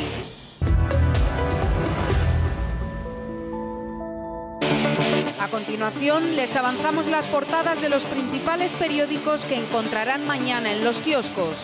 Esta noche, en El Cascabel. Pues tenemos tres minutos para completar el repaso a las portadas. El país dice que Putin se declara en posesión de un arsenal invencible. Es el titular destacado del país. El presidente ruso afirma que tiene armas que evitan el escudo antimisiles de Estados Unidos. O sea, saca pecho y poderío militar Putin. Redes rusas a favor de la ultraderecha en Italia. Ahí están ya, in- ¿eh? Hay elecciones en Italia, pues ya están ahí los... eh, La granja de sí, sí, trolls. los fake news Ahí está. de, la granja de troll de, Rusia para, provocar ¿eh? la desestabilización en Italia, en este caso. Puigdemont renuncia y da el relevo a Jordi Sánchez, otro inelegible. El expresidente Mm. dirigirá con Bru- en Bruselas un órgano de la supuesta República Separatista de Cataluña. Y la presión de los jubilados obliga a debatir el alza de las pensiones. Titulares del país mañana. Hoy ya viernes. La razón, Puigdemont claudica y señala al mártir Sánchez como sustituto para su investidura. Da un paso al lado provisional dos meses después de las elecciones y sitúa como sustituto al encarcelado líder de la Asamblea Nacional Catalana. Pretende mantener el control desde Bruselas y el gobierno le advierte que no podrá vivir del erario público. También lleva aportada la razón. Rajoy fija como prioridad de la convención del PP la agenda social. Los jubilados vuelven a salir a la calle. Anuncia un pleno monográfico en el Congreso para contrarrestar a la oposición en el tema de las pensiones. Y el pequeño Gabriel no está en las balsas ni en los pozos. Propósito de la búsqueda de este, de este niño. La vanguardia.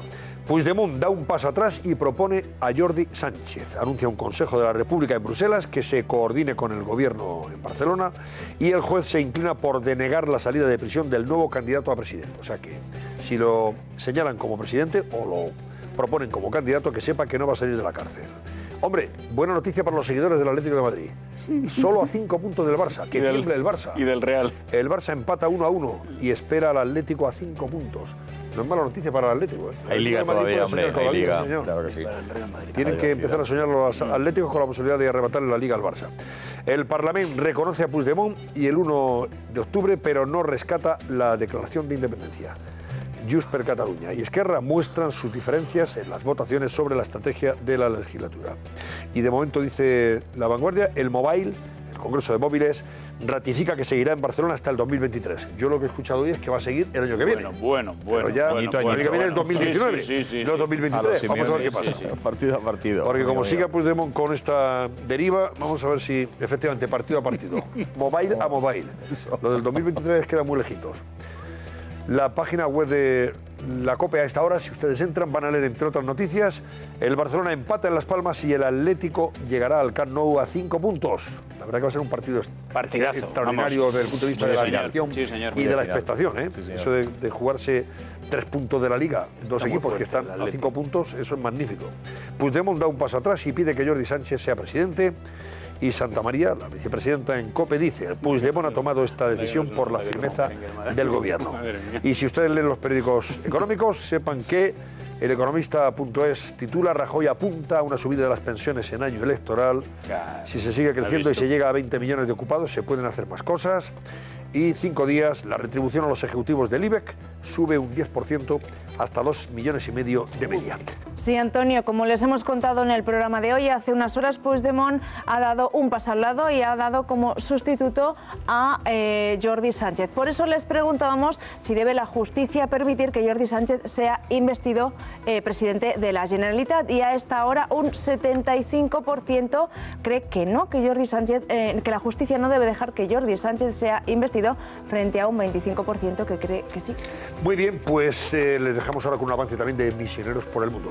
El próximo domingo a las 13 horas, aquí en 13. Y después, pantalla grande. Que pasen buena noche, adiós.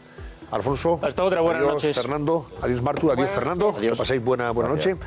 Y nosotros nos reencontraremos el lunes a las 10 aquí en 13.